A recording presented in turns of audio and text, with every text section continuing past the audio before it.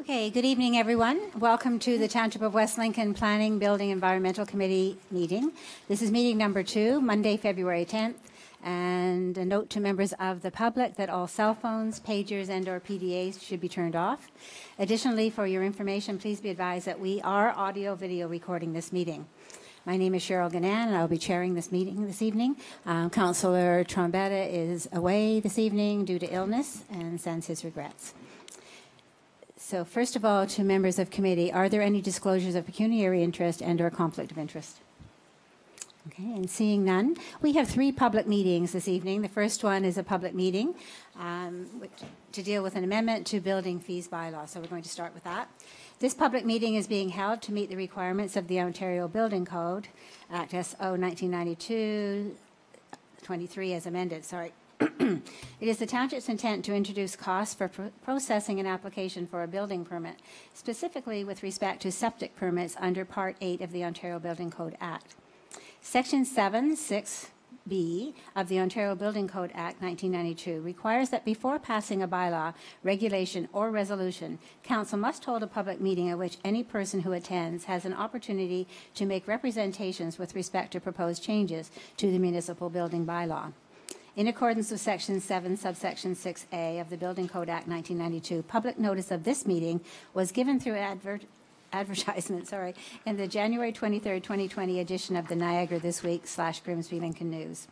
Will the Director of Planning and Building, Mr. Brian Treble, please review report number PD-005-20 regarding an amendment to the building fees bylaw? Mr. Treble. Thank you, Madam Chair. Uh, This application is um, required in order to comply with the uh, building code. Uh, The Building Code Act requires that the concept of uh, the building department uh, should function entirely on its own as uh, an independent unit and, and be self-sufficient from a financial point of view. And there are changes to the cost of delivering the septic function that uh, staff uh, advise must be carried on or passed on to the applicants for new septic systems. So this only applies to the users of the, of the process, those that will benefit from new systems. Uh, You will see from attachment two at page five of the report, PD 29 uh, dash 20, which is page 549 of the agenda, that each of the different types of septic, septic applications are increasing um, by somewhere in the range of 50 to $100 for the service. So a new application for a new septic system, a class uh, four system, or replacement of an existing system, the fee is going from $800 to $900. If it is a tertiary system that requires an annual maintenance inspection, there's an additional $200 fee for those tertiary systems. If it's a minor septic repair or minor septic replacement, the fee goes from 425 to 450. Um, a class five system, which is a holding tank, the fee goes from 350 to 400, et cetera. That's all spelled out in the, in the draft of the bylaw, Madam Chair, that's found at attachment two. So as I mentioned, the cost of the delivery of the septic permitting function is going to increase in uh, 2020. And in addition to that, uh, the township lost somewhere around $6,000 in that component of the delivery last year. So this is meant to offset the increased cost as well as the loss that has occurred in that department. And since this is meant to be self-sufficient, that loss has to be, uh, has to be recouped through the permitting process. So the proposal before us tonight, Madam Chair, is to consider these changes. Um, If supported and approved by council, the plan is to have them in effect as of March the 1st, which is the timing of the, of the increase in the cost of delivery to the township as well. Okay, thank you, Mr. Treble. Are there any oral or written submissions from any members of the public regarding the proposed amendment to the building fees bylaw, specifically with respect to septic permits? So I know we have a number of people in the gallery. Is there anyone who wishes to speak to this? Okay, seeing none, are there any members of committee who have oral or written submissions? Councilor Rehner. Thank you, Madam Chair. Through you to the uh, Director of Planning, Brian Treble. Um, How are these calculations done, Mr. Treble, to determine that the costs of going to go through the permit process is actually costing the township more than, than anticipated? Through you, Madam Chair, initially, uh, and, and I think I'm going back to about 2012 or thereabouts, uh, we had hired a consultant, uh, BMA Consulting, which actually sat down and worked through all of the different steps in the issuance of a, actually a planning process as well as a building process. And they determined sort of the cost and the, and the length of time it took of various different staff to process an application and then calculated a factor at that point and recommended actually that it should increase by the cost of living each year. We have not been doing that because building is a little different and it's supposed to be self-sufficient. Um, So I guess my point would be, I think we're starting from a reasonably solid base in terms of how the number was established, and I've simply elevated it based on what I believe to be uh, an appropriate cost, or an appropriate uh, inflation uh, level to cover cost. We'll have to revisit it at the end of the year to see whether or not we were successful. But the, but the base number should be reasonably accurate. Thank you, Mr. Treble. Anything further, Councillor? No, that's all, thanks. Okay. Any further questions or comments? Seeing none, there is an attendance sign list by the door, which we would ask all present to sign if they wish to be notified of council's decision with respect to amendments to the building fees bylaw, specifically with respect to septic permits. This public meeting with respect to amendments to the building fees bylaw is adjourned at the hour of 6:36.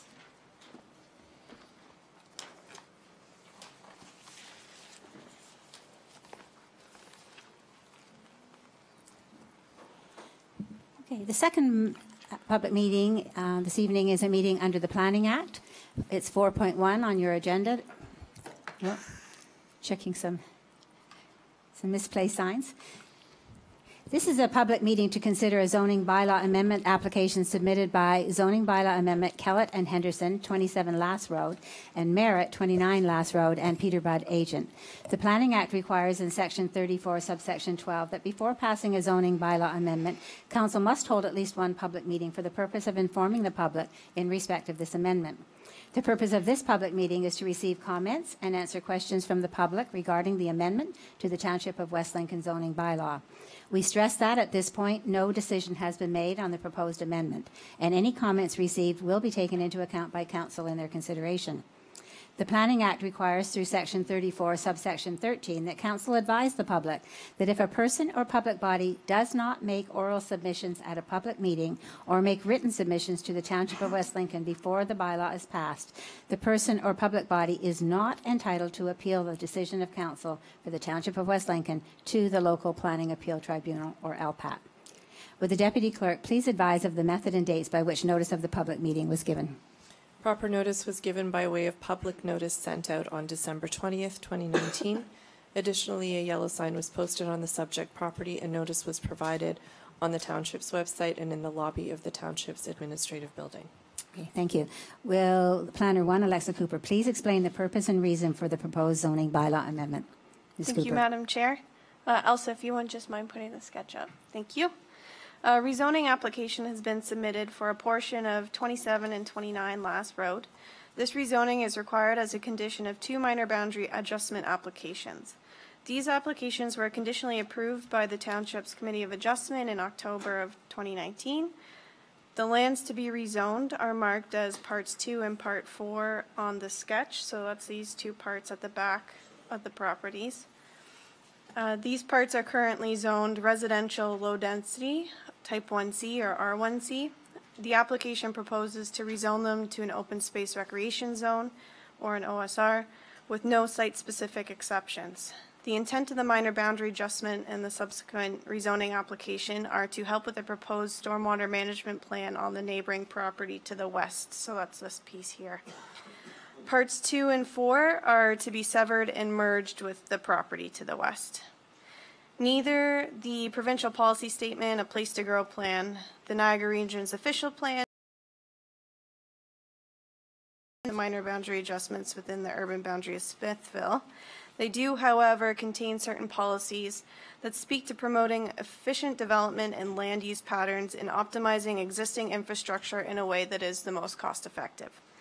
Um, Township staff have noted that the two sheds uh, on the property here don't currently meet zoning regulations, but they are to be moved before uh, the final certificate is given for their minor boundary adjustment application. So they will be moved to comply with zoning. The township's departments have no objection to the application as proposed, and the Niagara Region and the Niagara Peninsula Conservation Authority were not required to be circulated this application. No public comments have been received from the public to date, and township planning staff will bring forth a recommendation report to this committee following the input received through tonight's public meeting process. Thanks. Okay, thank you. So is the applicant here and is, don't know? Or Mr. Budd? Okay, do you wish to speak to it any further, or is that, was that sufficiently explained for you? That's fine. Okay, thank you. Okay, are there any oral or written submissions from anyone present regarding the proposed zoning bylaw amendment? I would like to stress that this may be the only public meeting held with respect to this application. Therefore, if any members of the public would like to make comments and/or provide written comments, they should state them any other council and/or committee meeting. Also, anyone wishing to speak is required to come forward to the microphone at the table and provide their name and address for the record prior to speaking. So, nothing further then. I'm going to move on. Do any members of committee have any oral or written submissions on the proposed zoning bylaw amendment? Please note that members of the committee must make their comments now, as the LPAT may not consider comments made during a planning, building, environmental meeting or and/or any other council or committee meeting. So, members of committee? Please be advised that a technical report is being considered by committee this evening and that a recommendation report will be forthcoming to a future committee and/or council meeting. Please be advised that once the planning committee and/or council has made a decision with respect to the zoning bylaw amendment, and if approved by council, a notice of its passing will be circulated with an appeal period. There's an attendance sign-in sheet which is located on the table near the exit doors, which we would ask all present to sign. Please ensure that when signing the attendance sheet for this evening's committee meeting, that you place a check mark in the column marked Bud if you wish to be advised of any subsequent meetings and/or decisions in this matter. Therefore, people who are interested in observing council and/or committee discussions about a particular bylaw should not solely rely on mailed notices and thus miss the opportunity to attend the meetings. It is suggested that you watch the township's website for posting of agendas to review items that will be discussed at a council and/or committee meeting. The agendas for meetings are posted on the township website at 4 p.m. on the Friday prior to the meeting. Additionally, meeting schedules are also noted on the website for the public to view. If you wish to receive notices by email, it is suggested that you include your email address with your mailing address and your phone number on the attendance sign-up sheet. So this public meeting with respect to the proposed zoning bylaw amendment is concluded at the hour of 6:42.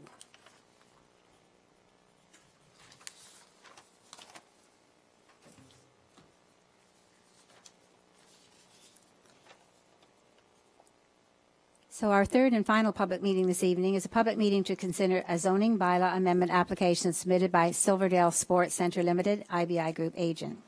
The Planning Act requires in Section 34, subsection 12, that before passing a zoning bylaw amendment, council must hold at least one public meeting for the purpose of informing the public in respect of the amendment. The purpose of this public meeting is to receive comments and answer questions from the public regarding the amendment to the Township of West Lincoln zoning bylaw.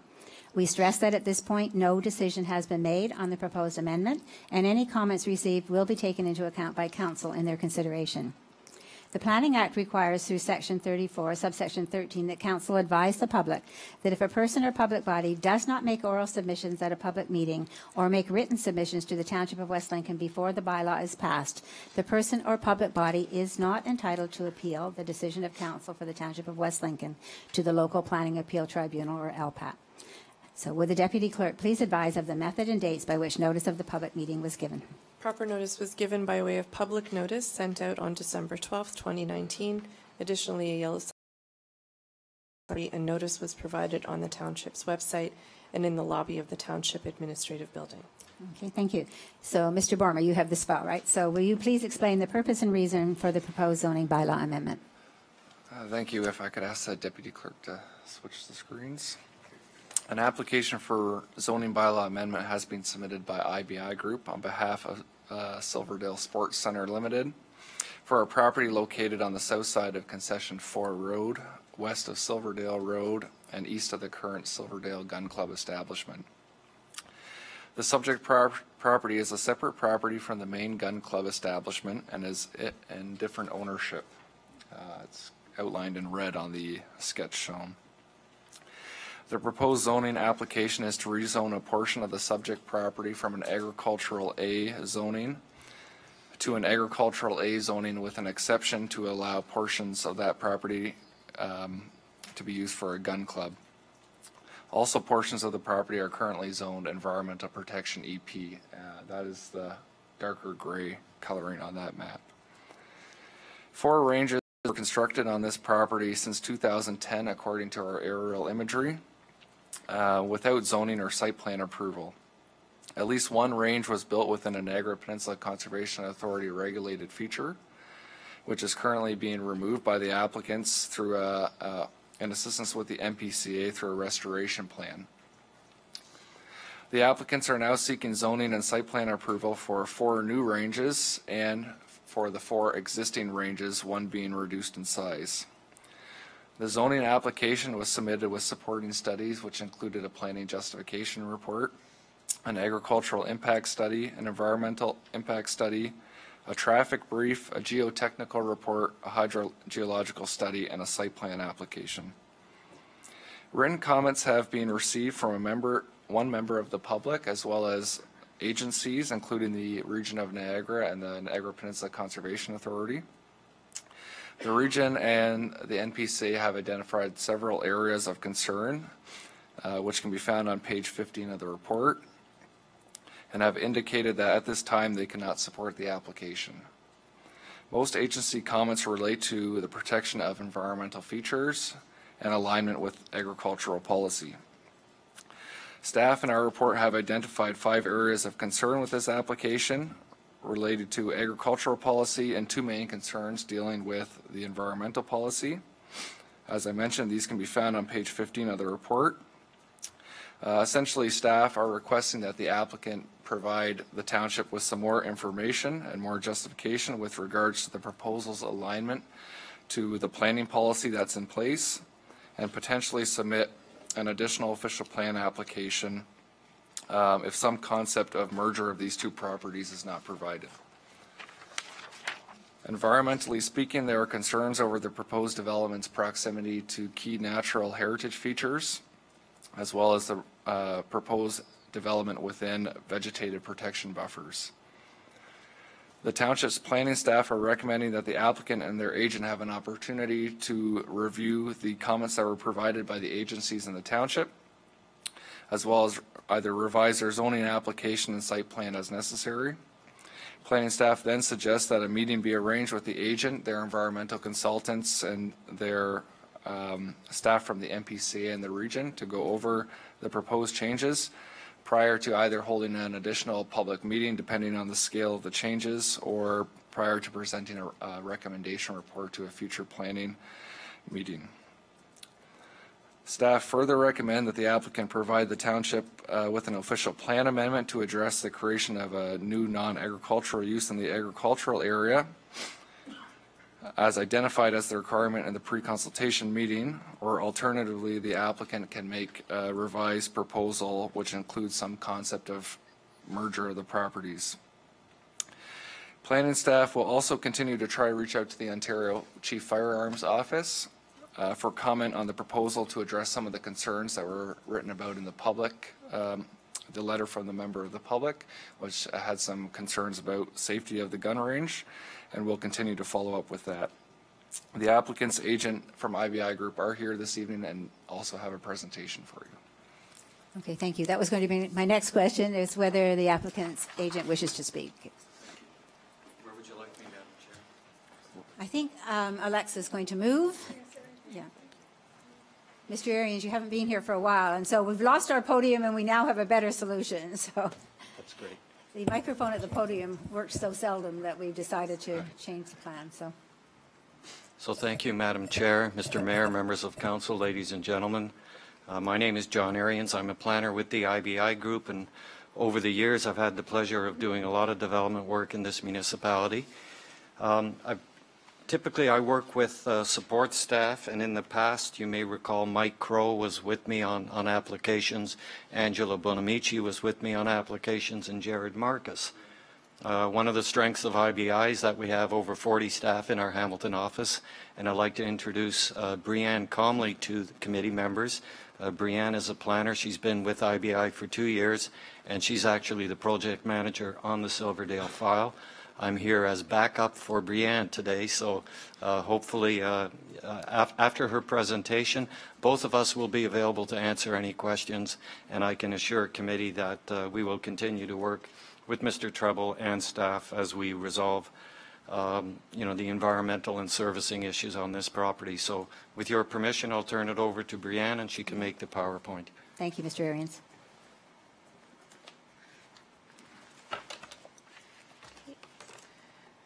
Can I do this full screen?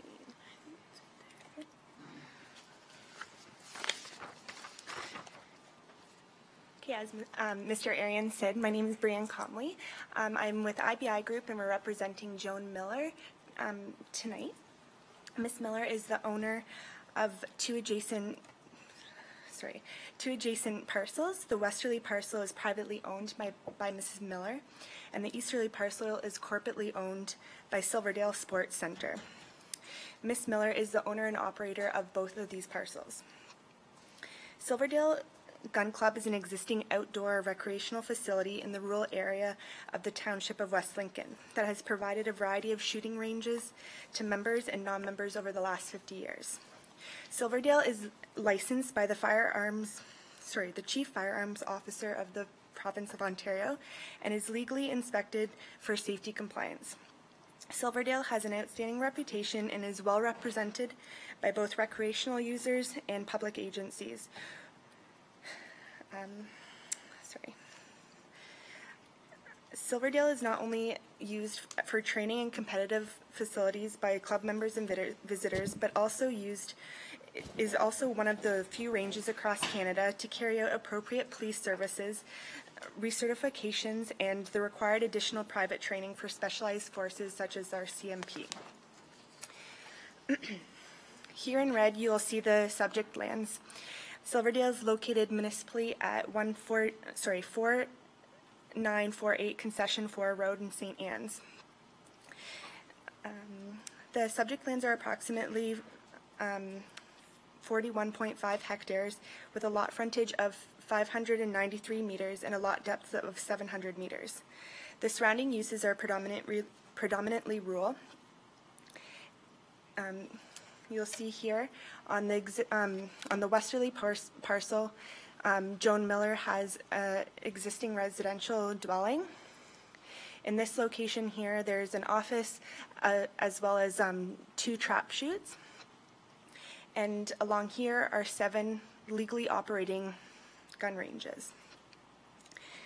Um, there are provincially significant wetlands and natural heritage features that run throughout the throughout both parcels of land. Approximately three years ago, Silverdale installed four additional gun ranges on the easterly parcel, which you can see here in, in the air photo. This expansion was completed illegally as Silverdale did not have zoning permissions to expand the gun range. Therefore, bylaw enforcement has been involved in this property, and that is why this application is before you today to address this issue. the, the proposed application is is to rezone the subject lands from agricultural to agricultural special provision to allow for the legalization of four existing gun ranges and four proposed um, outdoor gun ranges. This blue bubble here at the top of the site is not in front of you today, but it is a concurrent site plan application for a proposed indoor gun range on the existing footprints of buildings there today. The proposed indoor gun range will have a gross floor area of approximately 1,200 meters squared, which is which equates to about 13,000 feet, and will incorporate indoor gun ranges, offices, and and uh, similar uses. This multi-million dollar facility will create tourism and recreational opportunities by providing the space for gun-related training year-round, ultimately contributing to long-term economic development to the town of West Lincoln. In the orange bubble here, you will see the four, the four ex- existing illegal gun ranges and the expansion of four additional gun ranges. Approx- approximately 1.3 hectares of active farmland will be, will be required to accommodate the above request.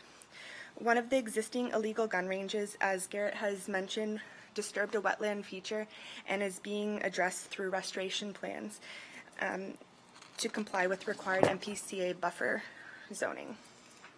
This is a list of the, the supporting studies, reports, and drawings that have been submitted to, um, to support the rezoning application. The zoning bylaw submission was made on November 4th. The application was deemed complete on December 12th, and the statutory public meeting is scheduled for today. At this meeting, town staff presented the technical report, and a recommendation report is to follow after consultation, further consultation with the township and other agencies. the current the current planning status um, for the subject lands are designated um, good general agricultural and natural heritage system under the Township of West Lincoln official plan. Under the Township of West Lincoln zoning bylaw number 2017-07, the subject lands are, the majority of the easter par, easterly parcel is zoned agricultural. The westerly parcel is uh, majority agricultural with special provision permitting a gun range and and both parcels contain EP, which is Environmental Protection Zone, um, throughout the entire site. Uh, block one here, you'll see in the, ha- the hatched area is the proposed um, area to be rezoned from agricultural to A7. Um, all the proposed development meets all minimum and maximum zoning requirements, and we are just requesting a, an adjustment boundary to the A7 zone to include the proposed expansion. The next five slides will analyze development issues that may have influence on the proposed development. a transportation impact um, brief was completed by Paradigm, and the concluding statements um, are as followed. 100 parking spaces are required by law. 135 spaces have been provided. Therefore, adequate parking has been provided. Concession 4 road is relatively flat. Therefore, adequate sight lines are available from the proposed site entrance. No traffic safety concerns. No pre-existing traffic concerns during peak hours. No traffic concerns in future development. And no road improvements have been identified. An agricultural impact assessment has been completed by Colville. The conclusions are as follows. The construction of the proposed development will equal more efficient use of the land. A gun range is a compatible land use. 1.3 hectares of active farmland, class 3 soil, is being converted to to expand the outdoor gun range, and there are no MDS 1 setback requirements. An environmental impact assessment has been completed by NRSI. Uh, the proposed development does not encroach into the identified key natural features. Minimum encroachments into headwater features and vegeta- vegetative protection zones do occur, but mitigation mi- sorry, mitigation measures are proposed. Through Im- implementation of the mitigation measures, significant adverse impacts are not anticipated. Further clarification and additional details have been requested by the NPCA, the township, and the region. We have been working with our environmental team to review all the comments, and NRSI believe all concerns and comments can be addressed without any issues. Further consultation with these agencies will occur in the near future in order to work towards a positive recommendation port to be brought forward to you in the, in the near future. Um, merging of the title.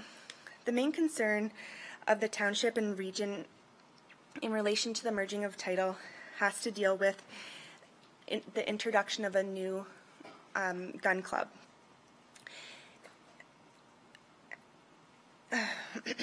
there are, in order to avoid this, um, the, they have recommended a merging of title. Um, there are many alternative options to consider to avoid this concern, such as a site-specific zoning regulation and or a site plan agreement. Both of these options give the opportunity to restrict the proposed expansion of the, out, the eight outdoor gun ranges to be operated in conjunction with the existing Silverdale Gun Club um, and remove opportunity for a second gun club to be created. A minor lot boundary adjustment is a, a third option. This option would propose to realign the westerly parcel lot line that currently divides the two properties to wholly include the proposed expansion. This would effectively per, sorry, this would effectively put the proposal i- under the same ownership of the westerly parcel of land. As you can see from the above examples, there are viable alternatives to merging of the lands, and we are willing to work with the township to establish the best outcomes for everybody in this case. Um, Safety concerns. The Shooting Club and Shooting Ranges Regulations, also known as the Firearms Act, sets out extremely restrictive and rigorous regulations and rules in order to operate a shooting range and maintain a place of safe discharge for the purpose of target practice or shooting target shooting competitions. Continued compliance with the regulation is required and therefore regular site inspections are completed by the chief firearms officer. Last summer, there was a report to the Ontario Chief Firearms Office about a stray bullet in neighboring property. A site investigation was completed, and the conclusion of the investigation was that the bullets could not have come from Silverdale. Contact with the Ontario Fire Chief Firearms Office has confirmed Silverdale is meeting all regulatory standards and is considered a safe gun club. Oh. Okay. Uh, public interest. Um, in order to evaluate whether or not the proposed development um, is within the public interest, it's beneficial to look at a variety of components. These include economic, social, and environmental perspectives. From an, from an economic perspective, the market demand for the gun range expansion demonstrates the need for additional land that will positively impact the economy. From a social perspective, the proposed development will increase capacities at which agencies can train to protect the public and increase opportunity for recreational activity use. And environmentally, in addition to the environmental impacts assessed in the previous slides, experiences and activities amid the natural environment have been proven to reduce stress and have a positive impact on human health and well-being. In conclusion, the proposed development effectively balances the pillars of sustainability, respecting good planning, and being in the public interest. Approval of this application will will create enhanced tourism activity opportunities, provide additional recreational services to the township, region, and province, allow for continued enhanced police training, and not result in any safety or adverse impact on the neighboring properties. In conclusion, approval of the proposed legalization of the four existing gun ranges and the expansion of four additional outdoor gun ranges will be compatible with surrounding areas, be supportive of public, of planning for the public interest, not create traffic or safety issues, have ample parking, and provide overall community benefits. Our proposed um, application complies with the intent and direction of the official plan. Okay, thank you. So I think we'll save questions until we get to the next portion, but stay tuned, please, Ms. Comley and uh, Mr. Ariens as well. So I'm going to now ask if there are any oral or written submissions from anyone present regarding the proposed zoning bylaw amendment. I would like to stress that this may be the only public meeting held with respect to this application. Therefore, if any members of the public would like to make comments and/or provide written comments, they should state them or present them now, as the LPAT may not consider comments made during any other council and/or committee meeting. Also, anyone wishing to speak is required to come forward to the microphone at the table and provide their name and address for the record prior to speaking. So we have a good-sized gallery. Is there anyone in the gallery interested in speaking to this application? Okay. Someone, someone's car is calling. Okay, moving on then, I'm going to ask members of committee if they have any oral or written submissions on the proposed zoning bylaw amendment. Please note that members of committee must make their comments now, as the LPAT may not consider comments made during a planning, building, environmental meeting, and/or any other council or committee meeting. So, members of committee. Councillor.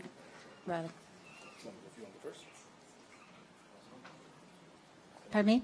There, yes, there was no one from the public, and so now I've moved and I've just asked members of, you maybe were distracted, Councillor, by the horn and the things going on. But we're on, we're on to members of committee. Okay. Councillor Reilly. Uh, Thank you, Madam Chair.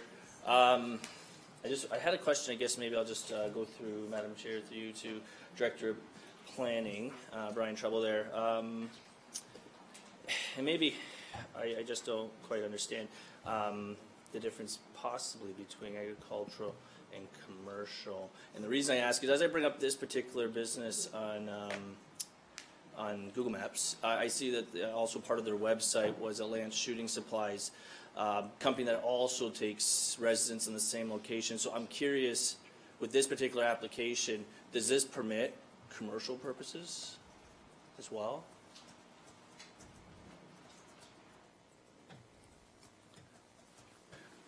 Through you, Madam Chair.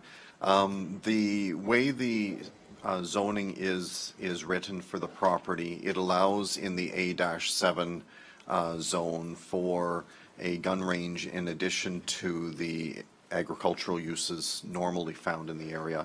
And without having the A, A7 zone in front of me, uses accessory to a gun range use would normally be allowed as sort of accessory uses.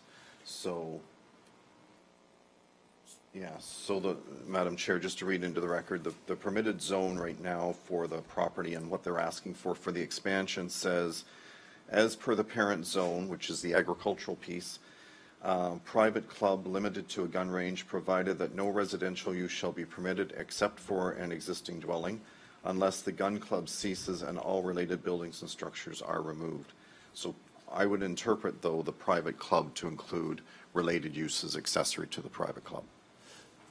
So that would be, so this particular, like, I'm just using their website here, um, directs me to another business that re- resides in the same grounds as that one. Um, that, this covers both? Is that what I'm understanding? Because right now, like, if you actually go to the website, you see that there's a second business there that specifically focuses on gun supplies, and they ship it to your door, or you can come and pick up your, um, your firearms or your ammo, or whatever it is. So I'm under the impression there's actually two businesses that are operating under the agricultural, currently agricultural zone. So I just want some clarity as far as what's happening here. I think, Madam Chair, Mr. Ariens Yes, can I maybe see that. speak better. Mr. Ariens, would you like to ans- answer that? Get the button to work. Uh, uh, Is it on? Yes. Okay, sorry. Um, So accessory uses are permitted. Uh, An accessory use is anything that's subordinate to the principal use. The principal use clearly is the gun range. Uh, It's much the same, sir, as if we have a- a- an arena complex. Uh, A secondary or an accessory use could be a small sporting goods outlet. I mean, clearly, the principal use is the playing of activities in the arena. The sale of sporting goods is accessory, whether they deliver or have a mail order business, that, that's really incidental. The principal use is the recreational component. You could have a Tim Hortons in that arena, you could have a skate sharpening shop in that arena. They're all accessory uses. Similarly, on this property, the sale of firearms, uh, the sale of ammunition, uh, gun repair, those would all be accessory uses subordinate to the principal use, which is the rifle range. Okay. Um, yeah, I guess that's all I have. Okay, thank you. Anyone else? Councillor Rehner? Thank you.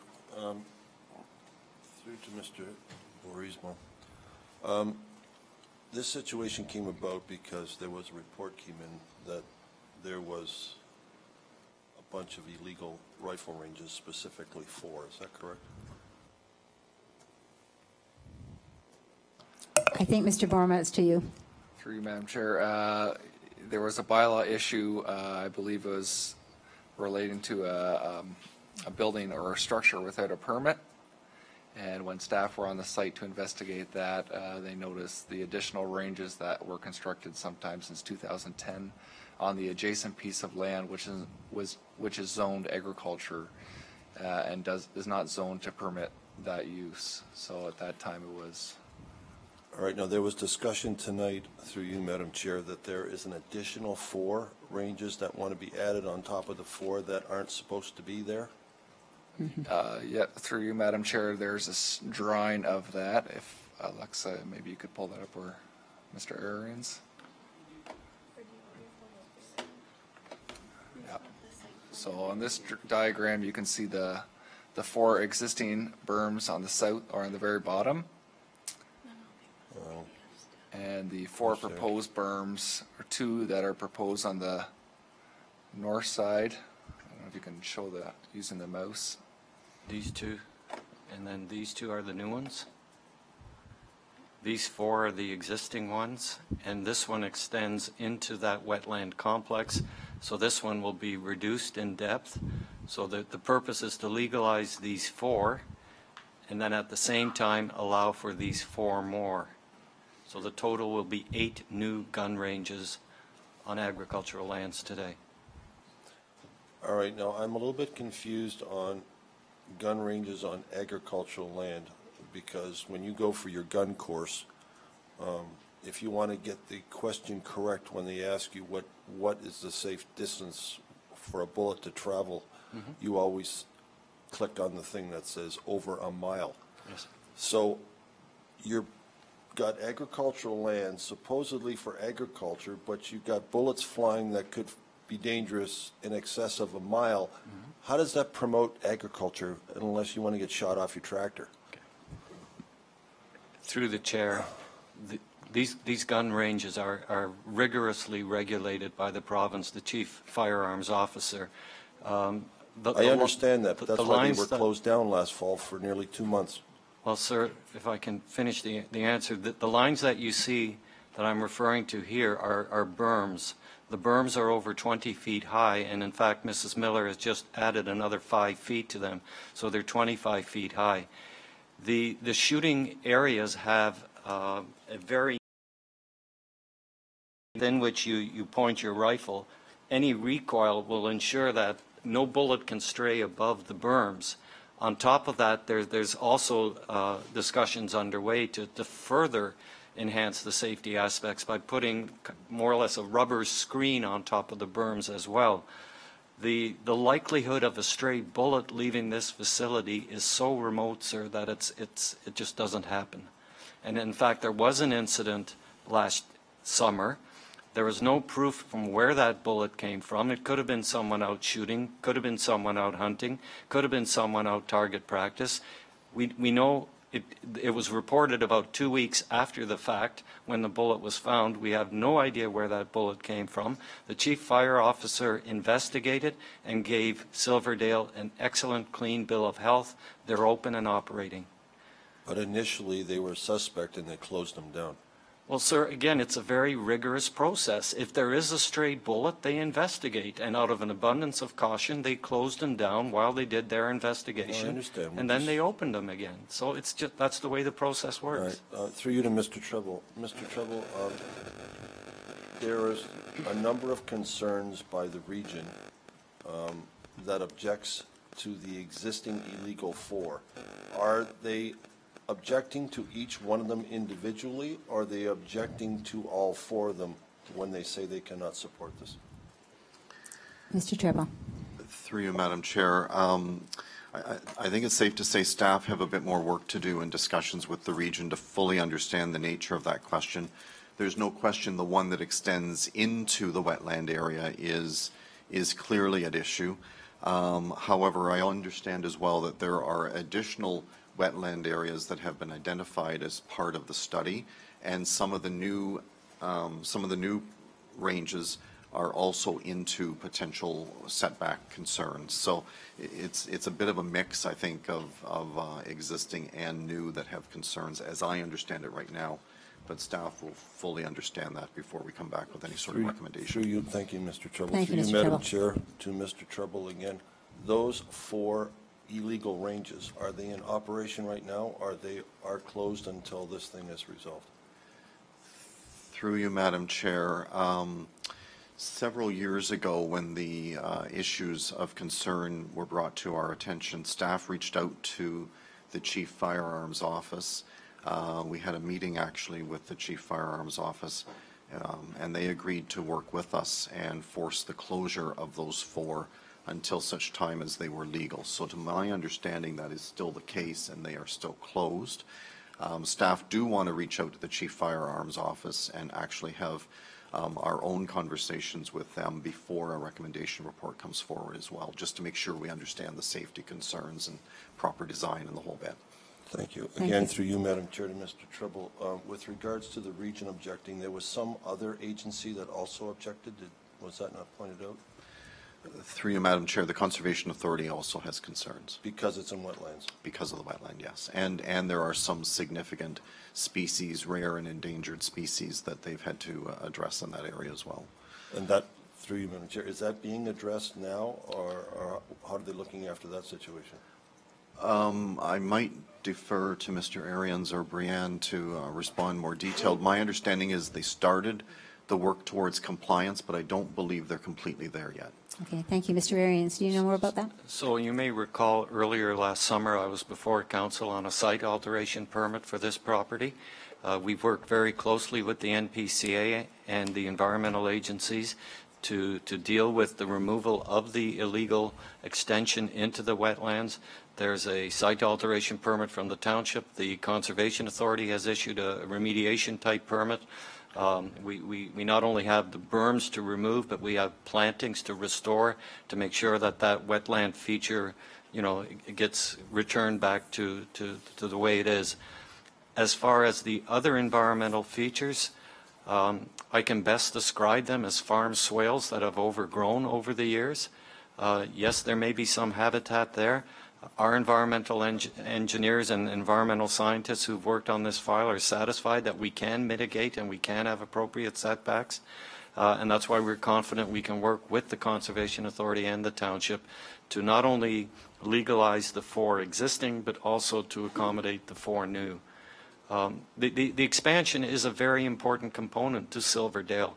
I mean, they have world-class competitions at this facility. Olympic teams train at this facility. SWAT teams, police forces, Army, Special Forces, they all train at, at Silverdale. It, it's, it's, it's a going concern.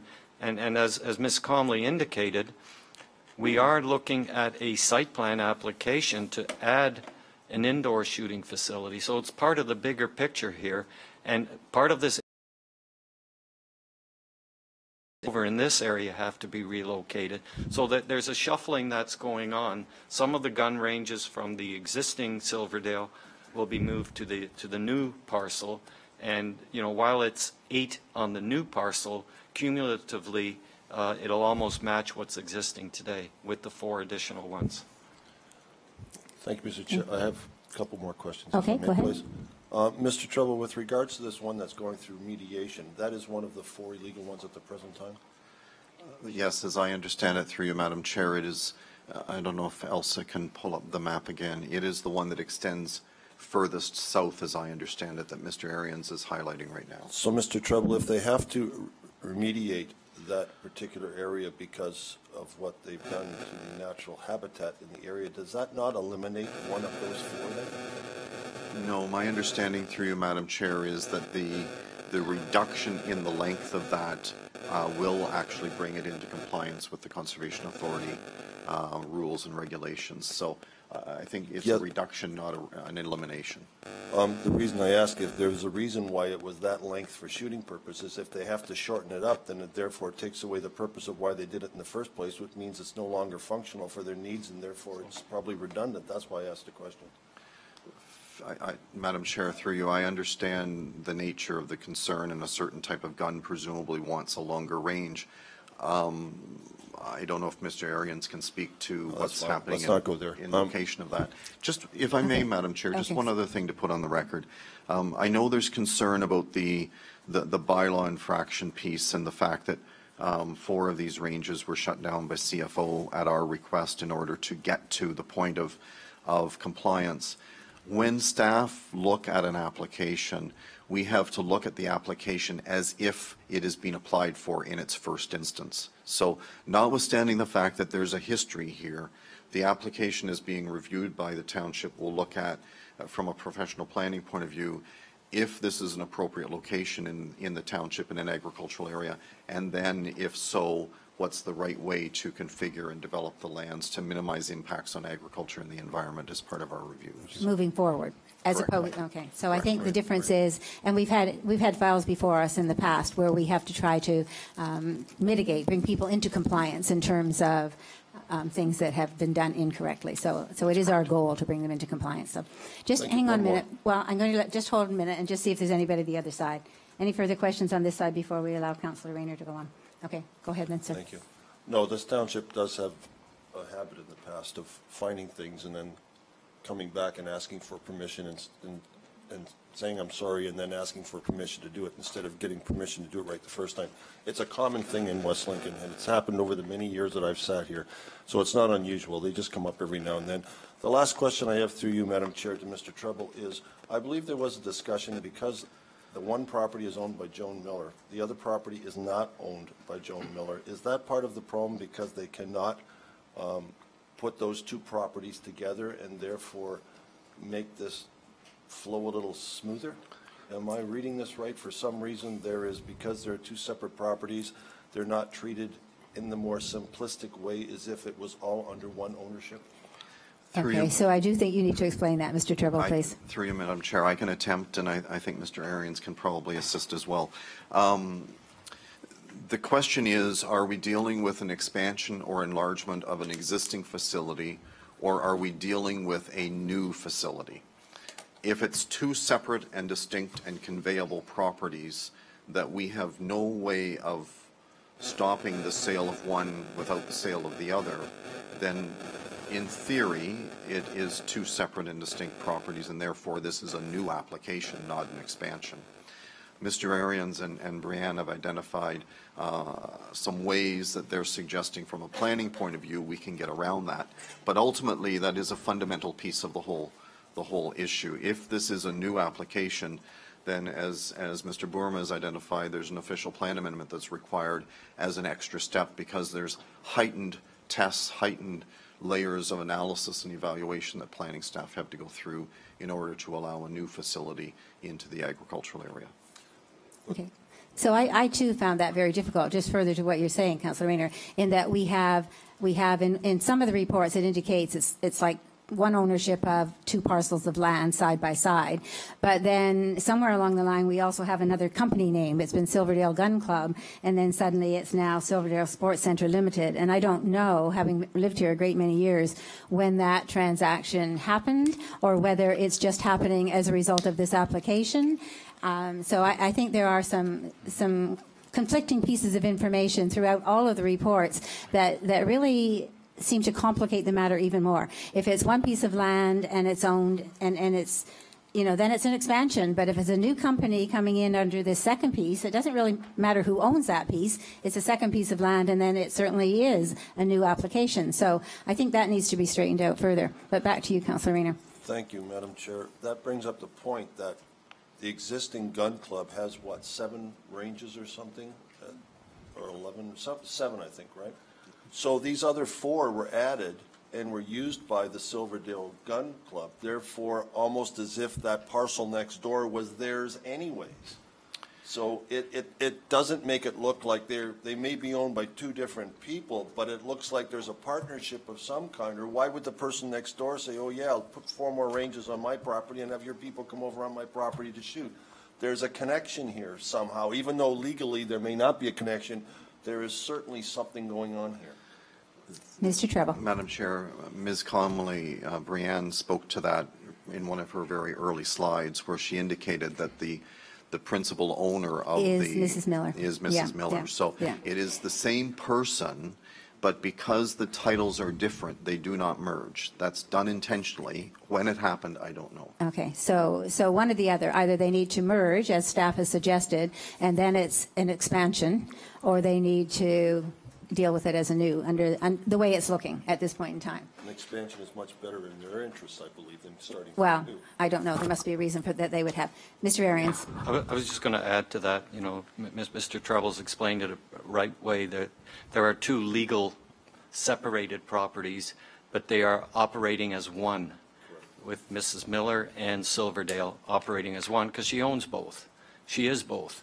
Um, Whether we end up doing a little five-acre severance and removing the ranges from this property and merging it with that one, or whether the entire parcels merge, or whether we build into the zoning bylaw that you can't sell one without the other. There are ways that we can deal with this. It, I see it as a technical issue as opposed to, do we give the approval, yes or no? Well, we, we can work out the ownership details quite easily. That's the least of my worries. Well, thank you for that, but it's one of my major Oh, worries in terms of how I- that I- works I out. Because I see, I see in terms of planning, two different lines here, and I, I think we have to be careful about that. It would be easy to simplify. So while we're doing that, are you finished, Councillor? Okay, because I also have a few things. Um, one of the things I was concerned about was um, the fact that the justification report um, goes at great lengths to talk about the economic benefits to the municipality and the recreational facilities offered to the municipality and so on. But I understand that it is a private club. I- Is, is Mrs. Miller here? I- Yes, she is. Okay, so if you can't answer, then perhaps she could answer for me. So um, I also looked on the website, and I don't know how large the membership is. Is that possible to know how many members there are? We can certainly find out. Okay, and so based on that, then I wonder what the anticipation. Um, first of all, I want to know how many are, of those are local members because I do know that the Silverdale Gun Club started with many local people years ago, but we're talking 50 years ago or better, and I know that that has changed over time. So I want to know if it truly is of benefit to the municipality to expand this you know, what the projection, what the business number is that says how, how large this club is going to get, and whether there is um, an opportunity for people to actually, from West Lincoln, take part in this. Is it really a recreational facility that we would benefit from or not? Or is the only economic spin-off good for the property owners and the business owners? Because at this point in time, out on concession four, there's not much spillage. There's not much happening in terms of what West Lincoln would gain from that. And so I see that uh, as as a justification report that in words sounds fine, but I'm not so sure in application it actually plays out. So I think that we need to look at that more carefully. And, and I would want to know a bit more about, about what that proposed business is and what it looks like in terms of um, actual benefits to West Lincoln. I, I, I just, I see a benefit definitely to the applicant. I don't see a benefit necessarily to West Lincoln.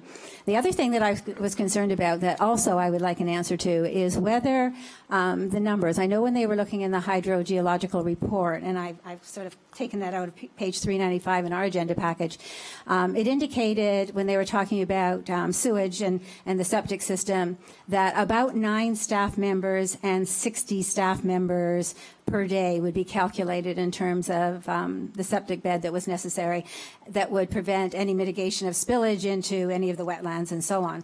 So I know also from looking on the website that there are many packages offered to members, specialty things and tournaments and are advocated and not, and that was also mentioned in the report.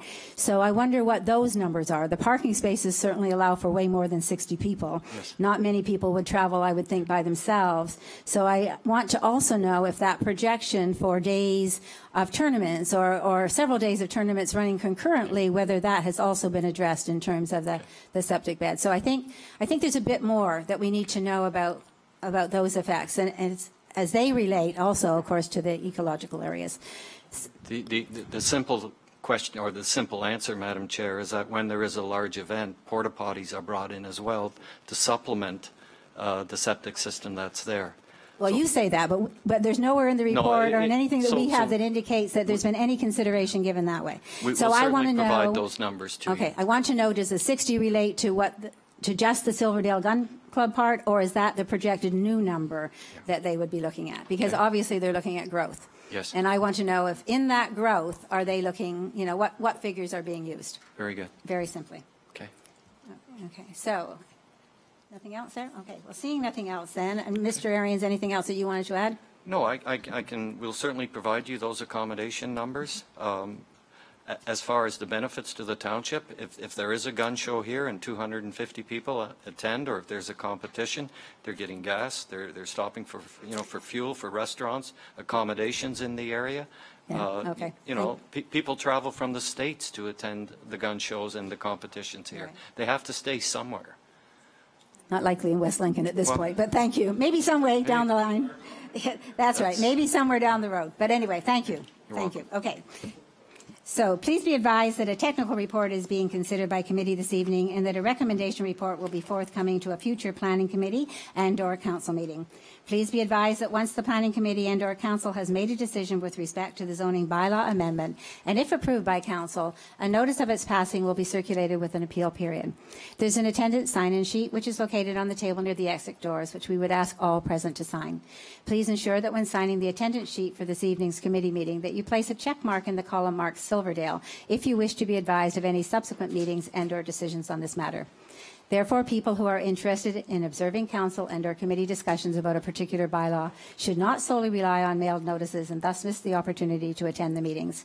It is suggested that you watch the township's website for posting of agendas to review items that will be discussed at a council and/or committee meeting. The agendas for meetings are posted on the township website at 4 p.m. on the Friday prior to the meeting. Additionally, meeting schedules are also noted on the website for the public to view. If you wish to receive notices by email, it is suggested that you include your email address with your mailing address and your phone number on the attendance sign-up sheet. This public meeting with respect to the proposed zoning bylaw amendment is concluded at the hour of 7:30.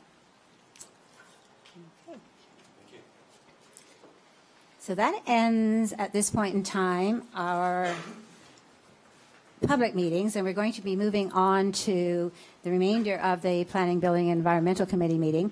I'm going to ask members of committee if there are any changes in orders of items on the agenda. Okay, and seeing none, we have one appointment this evening. It's item 6.1 on your agenda, item P10-20. Dan Curry and Mike Campos, MHBC Planning, Urban Design, and Landscape Architecture. Re-consultants presentation for two former school sites being 186 Margaret Street and 132 College Street, Smithville, future redevelopment and intensification. And it's a PowerPoint presentation, so. Madam Chair, well, Dan is setting up, if I could just say a couple of introductory points. Certainly. Um, Just to refresh committee's memory, back in June of 2019, uh, we had a discussion um, at the planning committee level about the importance of sort of taking a leading role in the change of use of lands uh, in our community as we had an opportunity, instead of always reacting to developers' applications, uh, doing some forward thinking and attempt to come up with some plans for lands that we know uh, will have uh, future demand. Um, In this particular instance, MHBC Planning was hired to take a look at the two abandoned school sites. Uh, These sites are very strategically located in proximity to our core area and are very important um, sites as we grow the uh, community of Smithville. Um, This concept of infill intensification is something you're going to start hearing a lot of as we go forward. The concept of growing communities requires us to take advantage of and uh, develop in the right way uh, lands that are strategically located and, and, and vacant inside the existing boundary. And um, these must be uh, determined or, or developed before we can really grow our boundaries and expand into greenfield lands. So in this case, Madam Chair, MHBC Planning was hired at our request to complete um, plans for both schools. Um, Both schools were made aware, and in fact, an interim control bylaw was put in place in June of 2019 to freeze development until we had a chance to determine what type of uh, development we think makes sense for the lands. Uh, Notwithstanding that, I understand that the Catholic School Board has now put uh, the former St. Martin's School on the market. Uh, Staff have been receiving a number of inquiries, so this is very timely in terms of being ahead of the developers with respect to what they might want to do on those lands. So with that, Madam Chair, I'll turn it over to Mr. Curry. Okay, thank you, Mr. Treble. Mr. Curry. Thank you, Madam Chair.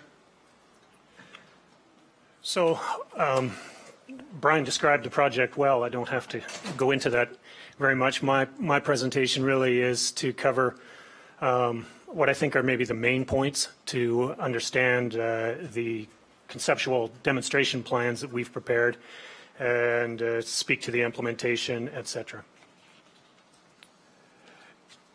So and again, Brian covered uh, a fair bit of this, but the, the purpose of these demonstration and concept plans are to act as a guide for future development of the site.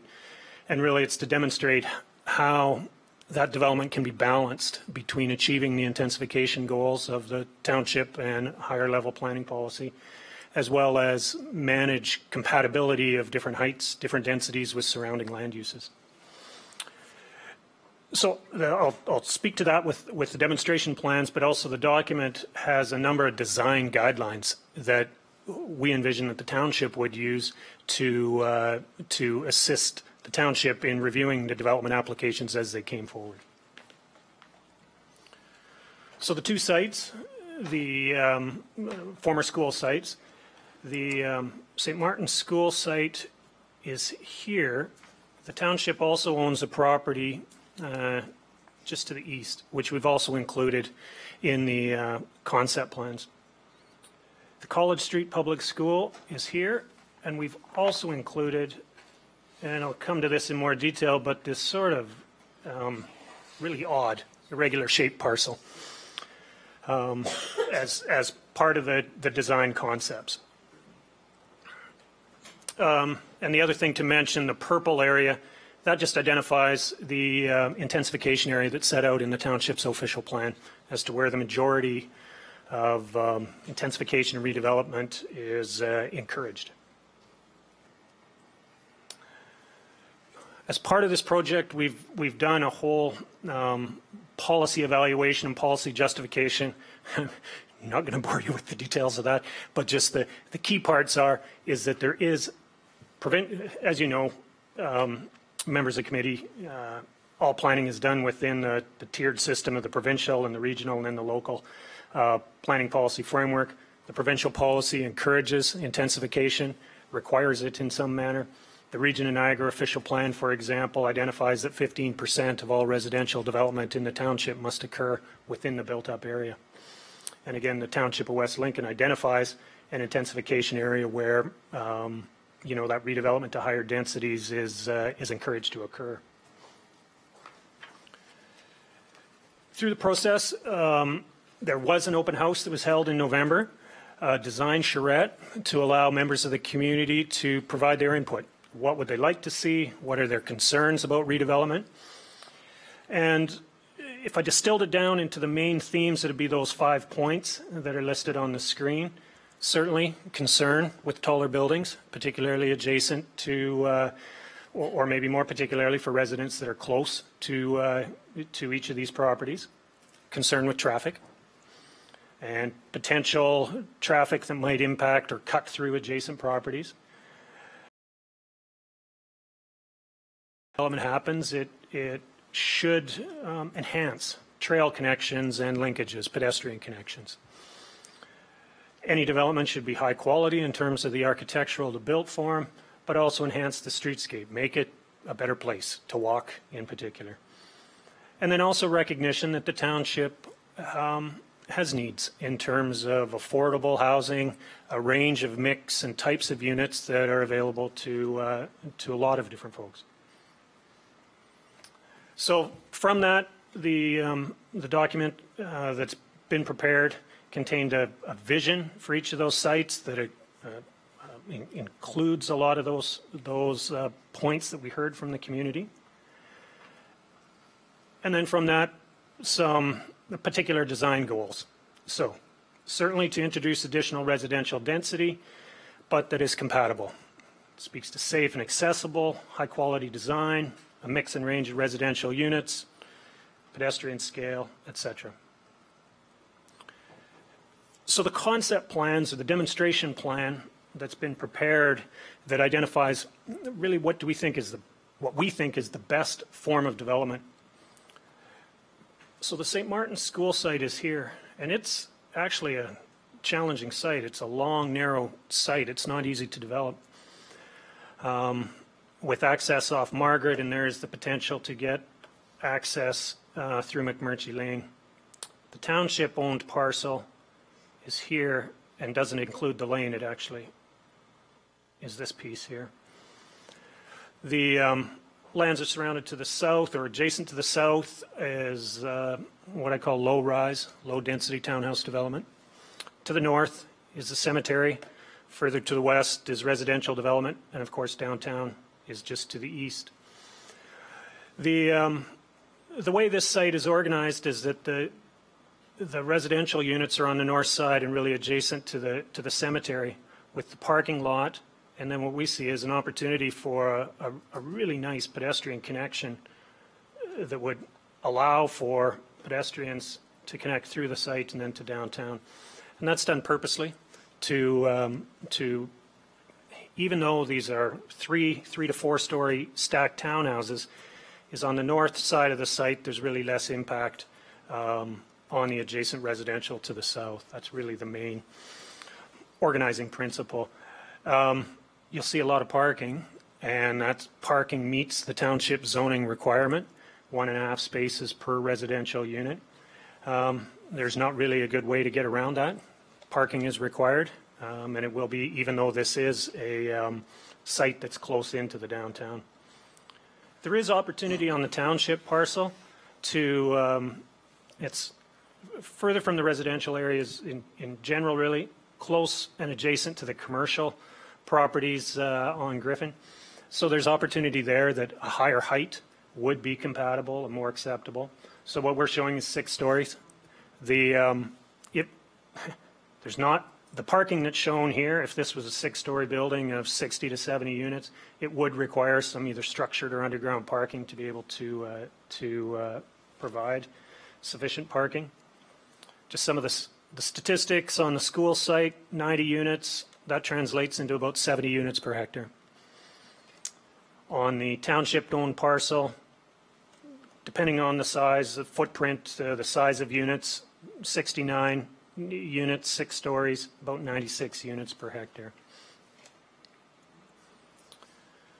And that's just a conceptual rendering of, of trying to do two things at once, show, show the, uh, the, the built form, but also identify that it's, uh, could quite easily be screened from the, from the south with the amount of landscaping that could be placed along that trail.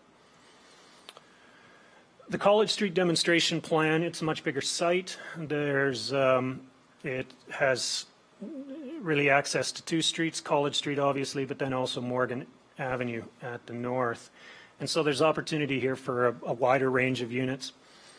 What we're showing in this concept plan, which uh, I think would be appropriate, is, is two-story townhouses, regular townhouses along, what I'll call regular townhouses along Morgan Avenue. That would be a height building form that really is compatible and very, very similar to, uh, to what exists today. Again, back or maybe the interior of the lot, um, opportunity for stacked townhouses. A little bit of density could be achieved here at, along the College Street frontage, uh, four-story apartment building. We're suggesting too that that might be an opportunity for some mixed use, some commercial or potentially office on the ground floor. Um, and particularly if it is, then it should be close to College Street to provide that environment.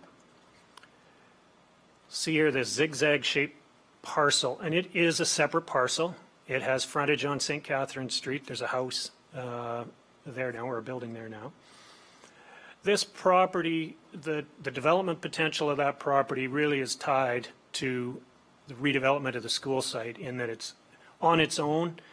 You really couldn't get much more than maybe what is there now, or maybe a little bit different development at, at the um, frontage on St. Catherine Street. So the back of the property, if it were to be developed in um, partnership or concert with the school site, there would be the opportunity to get um, some additional units on that site. It also provides the opportunity for a potential pedestrian route trail crossing, and we've shown a connection through to the new uh, development that's going on. Um, oh, Brian, I've forgotten the name. Mars. Mar, yeah, thank you. And there is the uh, future park, you can just see here in the top corner that is planned. There's, there's an opportunity for a trail connection through there. So that's one of the other reasons for, you know, considering that this, these lands might develop together. Uh, It would require, you know, any future owners of the school site, uh, existing or future owners of this site to work together. Um, be difficult for the township to force that to happen, but I think there's an opportunity there.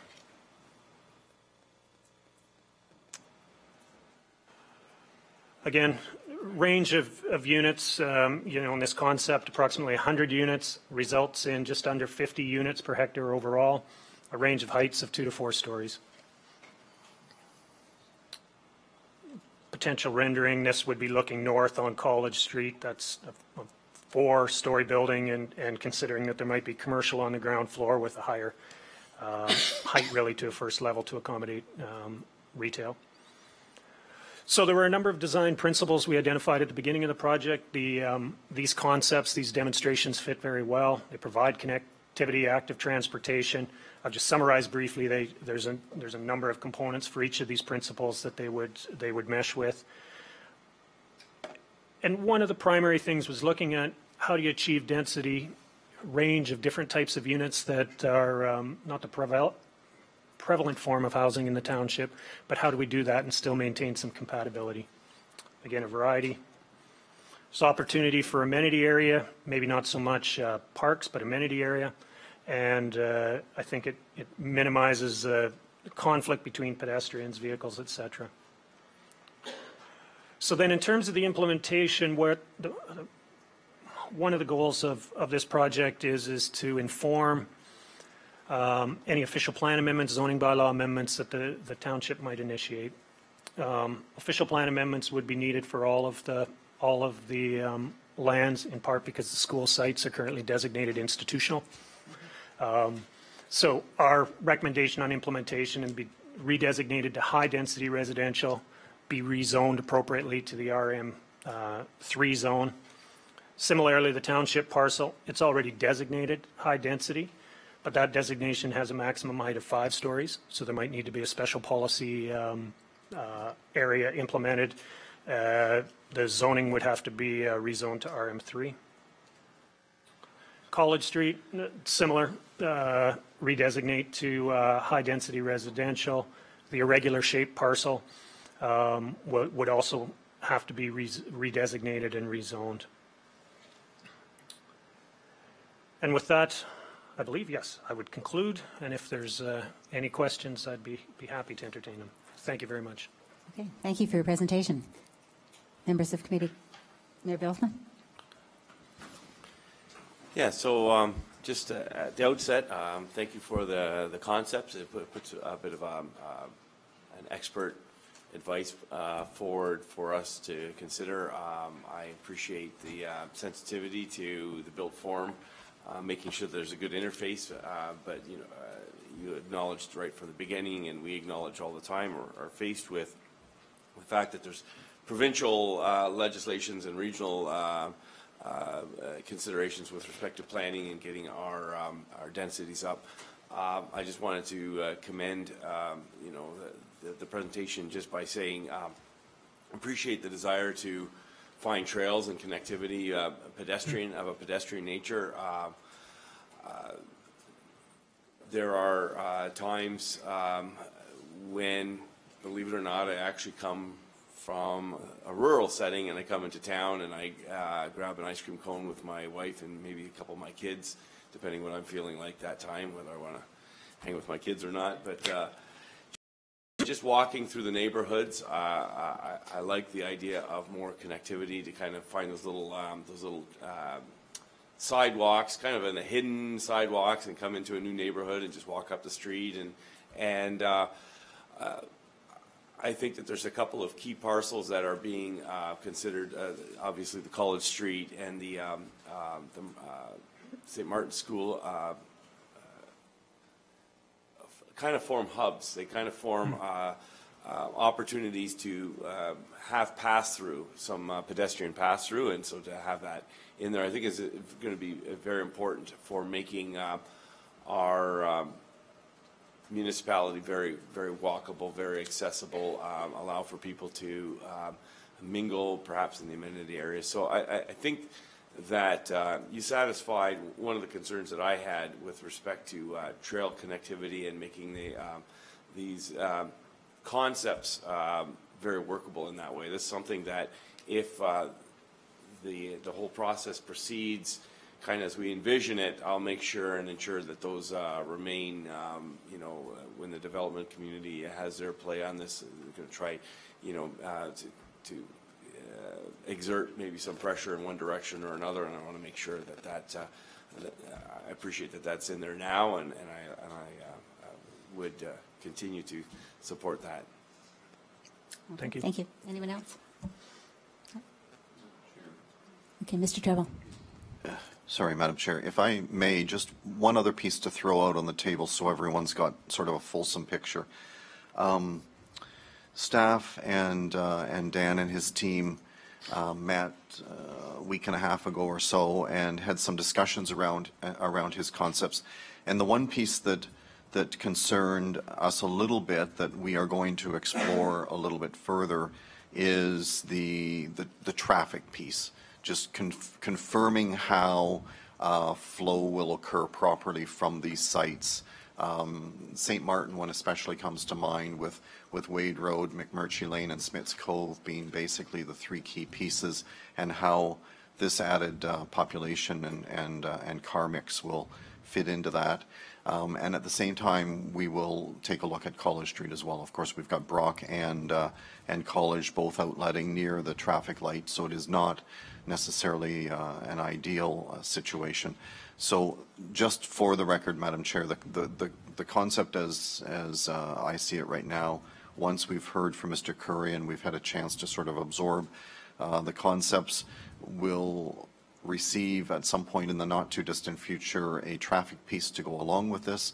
And then that will lead us into the formal public meeting process that we have to unfold in order to make the official plan uh, changes and, and zoning changes to implement these kinds of concepts. Okay, thank you, Mr. Treble. I'm sure that there are people in, in the gallery who are happy to hear that their traffic is still being addressed.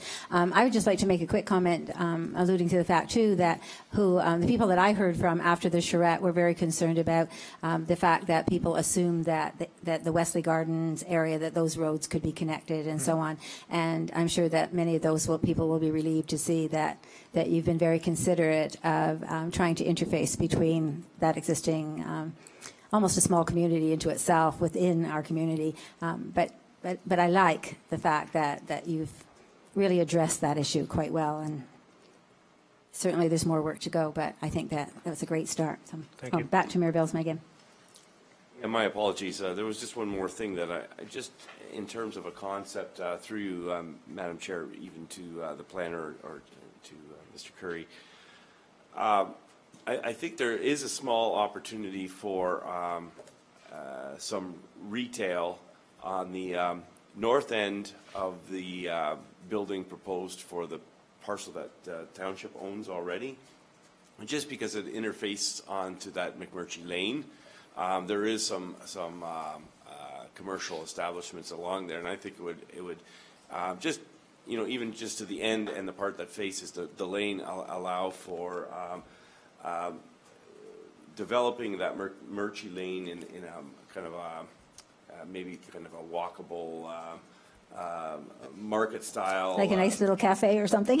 you know, and I, and, it but I would, I would consider it not necessarily the whole ground floor of that building, but that end that's on the, on the McMurtry Lane, a couple of small units in there to match the, um, the, uh, I think there's a, a little gift shop in there, and there has been different things in there. There've been different and- things there. And, and I think it would be, um, uh, also addressing a bit of the built form of that street, so, uh, that was just a little brainstorm that I Another had. little nugget? Good. Yeah. Okay. Any, Councillor Reilly? Did, Thank you, Madam Chair.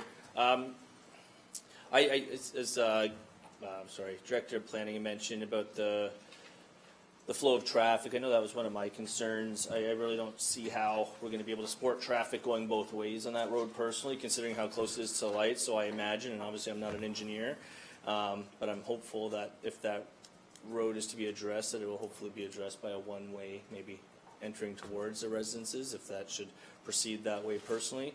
Um, but then that kind of forces all those vehicles to go out the other side. So I feel like there's still, um, I don't know, a little bit more work to consider here. But considering what this originally looked like, um, I'm definitely happier with what I see here than what I saw originally. Um, but uh, I guess we'll wait and see what the, uh, the finalized report will end up looking like in the future. So, okay. thank you. Seeing nothing further? Nobody out second guessing? Okay, thank you, Mr. Curry. Um, so, members of the gallery, just so that you're aware, um, this this is not at all the same format that you were at when you were at the charrette. Those of you who were there, but we do have following on this appointment and, and Mr. Curry being able to, to get out of that most uncomfortable chair, um, we have a, an area that we call requests to address items on the agenda. And since this was already on the agenda, if you came tonight hoping that you would be able to make a comment, this will be your opportunity to do so. So, um, and I'm going to read to you what it says. Request to address items on the agenda. Section 10.4, 5, and 6, general rules. One hour in total shall be allocated for this section of the agenda, and each individual person shall only be provided with five minutes to address their issue. And it does say some exceptions reply because it goes on to say that um, a response may not be provided and the matter may be referred to staff. A person who wishes to discuss a planning application, which this is not, or a matter can be, that be, can be appealed, would be permitted 10 minutes. So at this point in time, I I know that some of you came, and, and, I don't know whether you wanted to speak or not, but this is the opportunity where, because this was on our agenda, you may speak to it if you wish. So, is there anyone in the gallery tonight that wishes to come to the podium and talk about this issue? Okay, so we'll start with you, sir, if you would like to come forward, and you can sit in this end seat. We'll make sure the microphone is on for you. Thank you, Madam Chairman. If you'll state your name, please, and where you live, and then My go name ahead. is Ken Way, and I live on Village Drive in uh, Smithville. Um, my concern, as was your concern, is the amount of traffic and the amount of cars. Now, we're in a small, low-level community. Um, the diagrams are great, except three and four tier seems a little excessive. And the thing of my concern is, prior to this conversation, we talked about the, or you talked about the gun club. The gun club, under West Lincoln's uh, restrictions, must have 100 parking spots for a gun club out in the rural area. On Margaret Street, they're allowing 120 spots for 90 units. 120 parking spots is not going to do it. Basically, one and a half families have, well, they have two cars, but say one and a half families. So 120 parking spots for 90 units, definitely not going to be enough. And then when you add the township's property, they have 35 parking spots out front on 69 units. So that underground parking better be deep because they're going to have to put a lot of parking down there. And this parking is going to overflow into the community. The other problem is, with almost 200 cars in that five acre slot, I can say the pollution is going to increase. There's no question about it. And my other question is, will the sewers in Smithville handle that kind of, of uh, activity? Now, the thing is, I have no problem with the units on St. Martin's, but three high seems a little excessive for a smaller community like ours. So two unit high would be probably more acceptable, and the parking would probably be in line. And the same with the apartment building further, uh, four or five high for the parking. But um, that is one of my concerns, and it's already been addressed that McMurtry Lane and uh, Wade Street and West Street, they're going to have to put lights out there because the amount of traffic going out of there in the morning is going to be backed up severely. And like I say, that is a small area to put almost, uh, well, 90 and, and 60 units, seven, almost 70 units. Um, I'm not sure what the size of the units are going to be, but they'll probably be normal sizes. But that's, that's what I wanted to bring to the table is the fact that I sit on my back deck and I'll be right across from those units with all those cars there. And I'm sure that they're going to be starting and stopping and running through, and it's going to change uh, our way of living in that community if they try and ram too many units in that area. So anyways, thank Okay, you for your Thank you very much. And you stayed within your five-minute limit. Well done. Okay. Mrs. Joyner.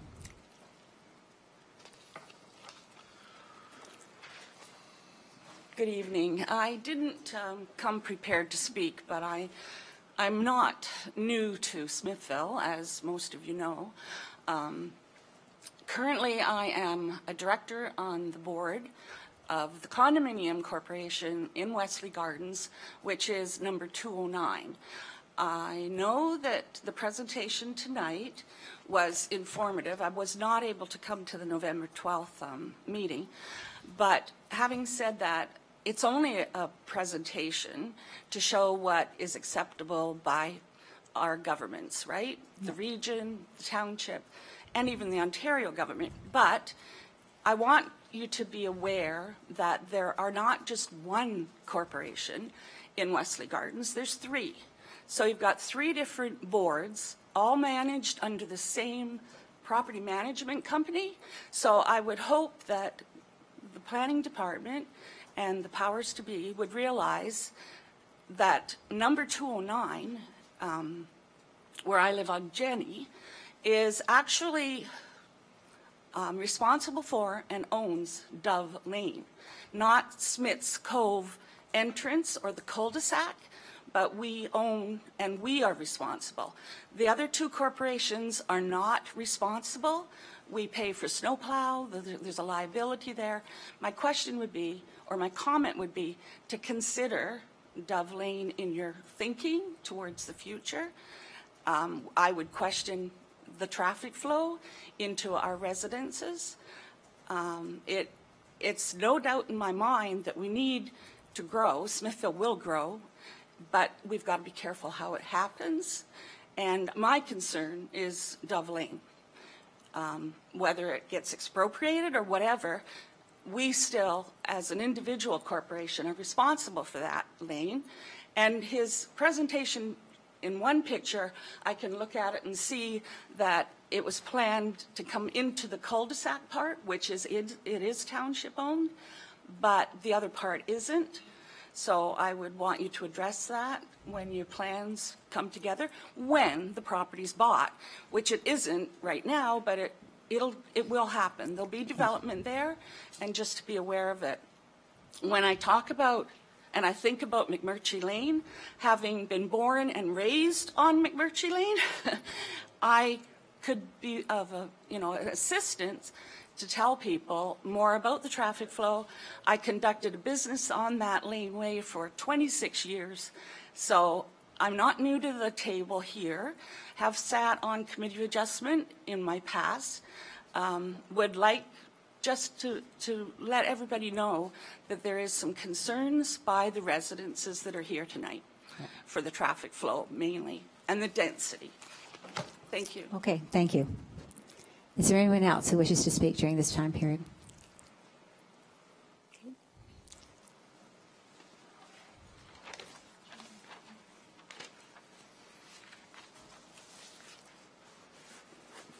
John Brierly, 26 Garden Drive. Okay, thank you. Uh, There's one thing that I, I wish you would consider before any of this goes through is that Wesley Gardens is private property. And I would like you to consider some way of allowing us to close that off to through traffic. Whether it be a gate in the center to provide access for Garden Drive to go out one way, uh, the other corporations to go out the other way, that would be openable for a garbage collection and fire department. Uh, Not necessarily lockable, but in some way to close that off, that it cannot be used as through traffic because I can guarantee you put the people out onto that Smith's Cove, and I know what kind of problem it is trying to get out of that stupid street at certain times of the day, and West Street. It's going to be a nightmare.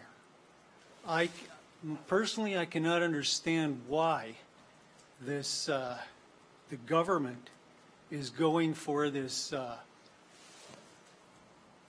what do they call it? Intensification? intensification in a rural township that cannot support this type of uh, growth through its medical, through its sewers, and through its uh, lines of uh, traffic. It's just, in my mind, it's incomprehensible that this is even being considered. Uh, the Margaret Street, uh, the school area there, the second uh, concept that they had at the November meeting is the way that we would like to see it go, is the uh, town, uh, the corporation similar to ours, the single-story uh, used for um, the retirees, because that would be about the only thing that would make that particular block of land possible. The concept number three that came out just recently, those stacked townhouses are actually a ridiculous situation because they have no garages. You're going to end up with what they have at the Dove Corporation. You're going to have garbage all around each unit. They've got no place for storage. Uh, You've limited the, uh, uh, that concept has limited the amount of, uh, the type of person that can live there to accessibility. Uh, Coming in the future is going to be electric cars. There's no garages to plug an electric car into. There's no spots for that anywhere. The environmental impact of something like this stacked townhousing idea is just outrageous in this area.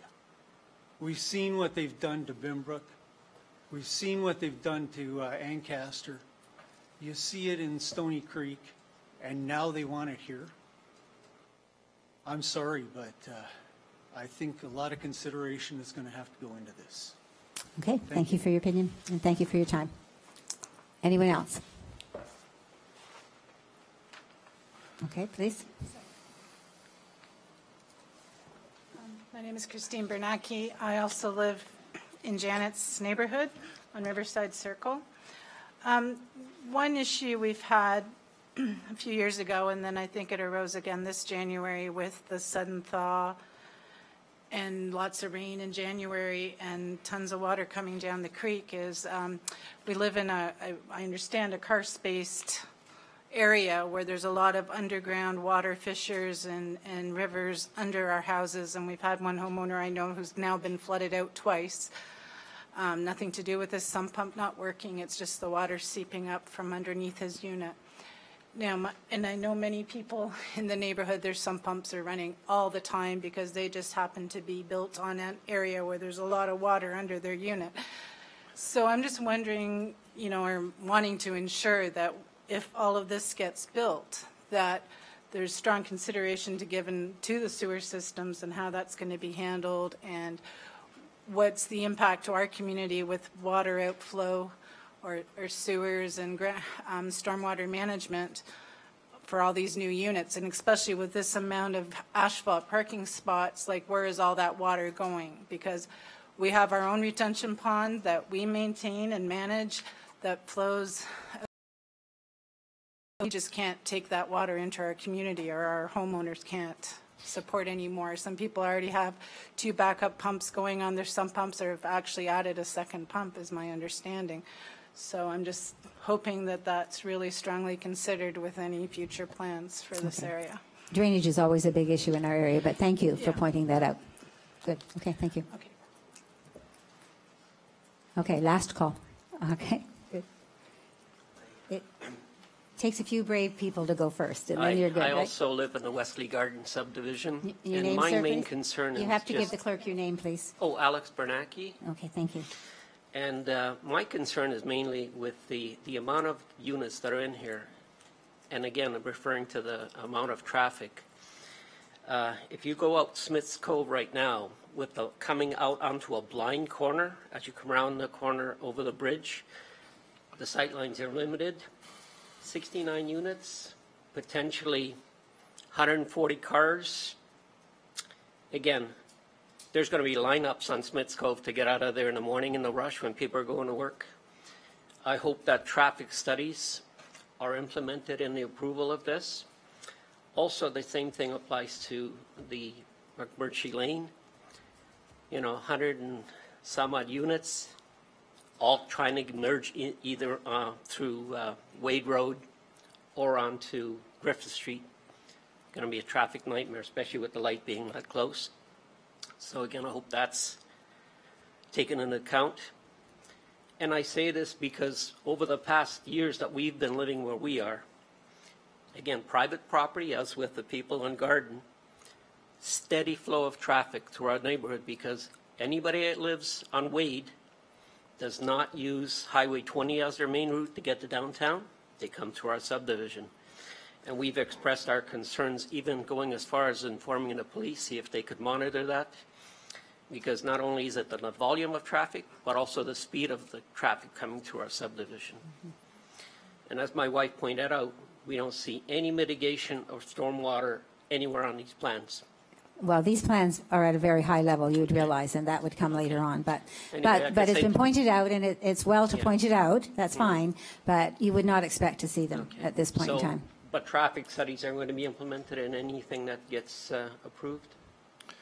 Mr. Treble. Yeah, through you, Madam Chair, the traffic piece is key, and I, and I think I'm hearing the residents agree with that.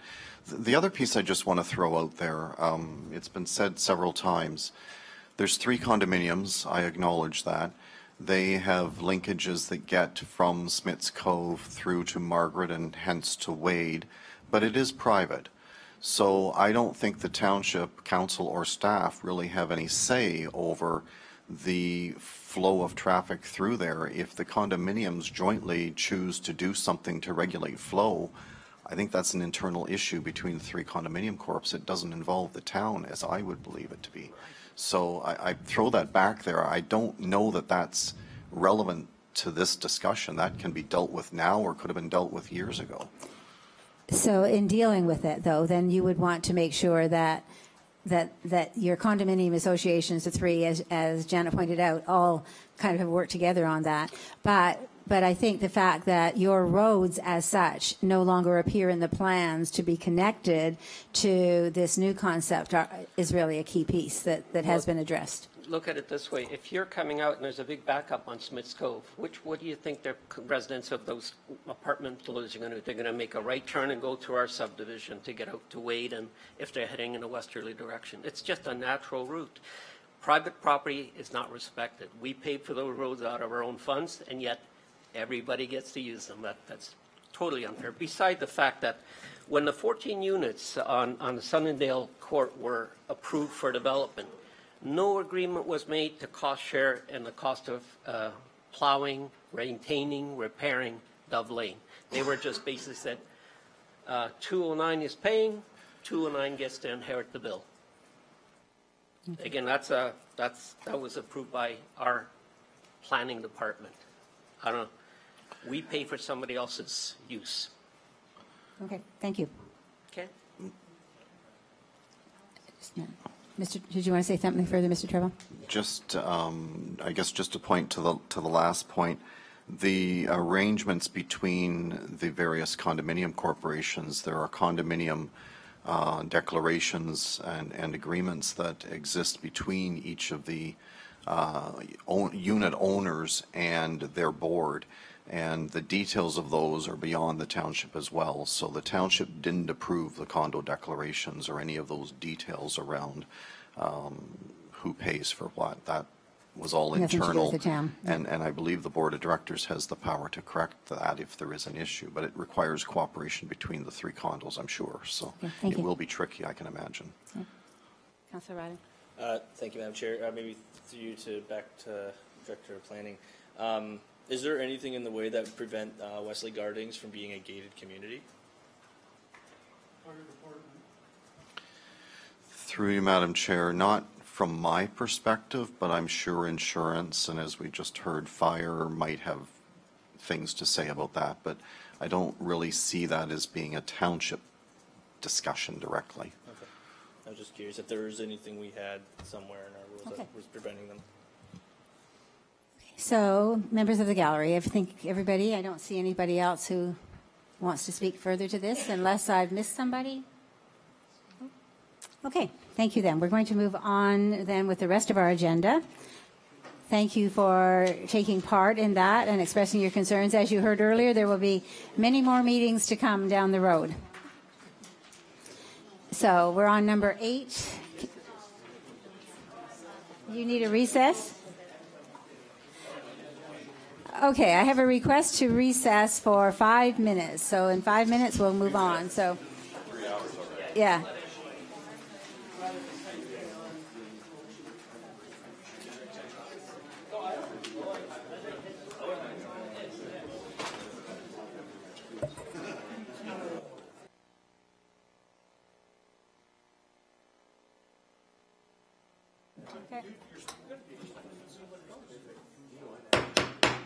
Okay, I did really whack it.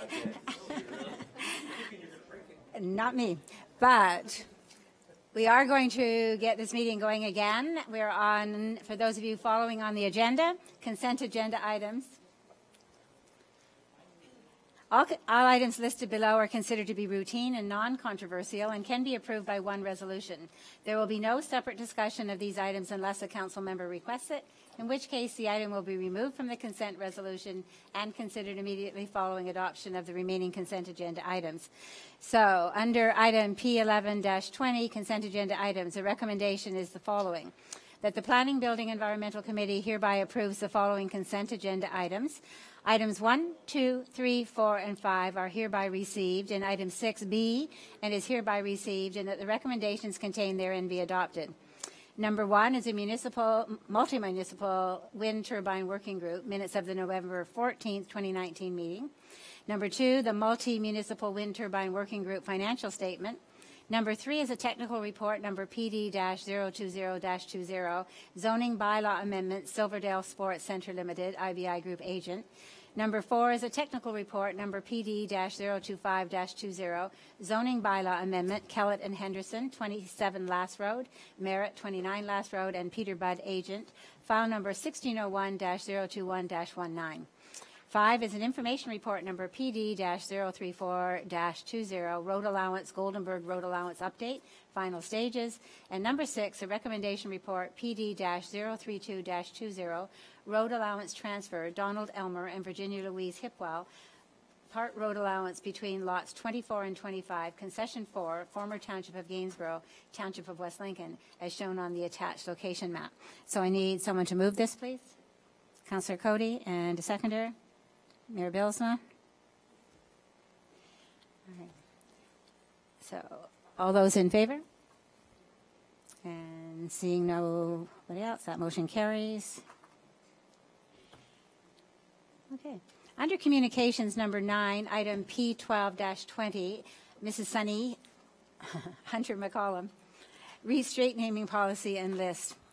Recommendation that a letter from Mrs. Sunny Hunter McCollum, who I've known for a long time, I just I never see the Hunter in the middle before, requesting that the name Hunter be included as part of the street naming policy and list be received for information and referred to the Heritage Committee. So I need someone to move that, please.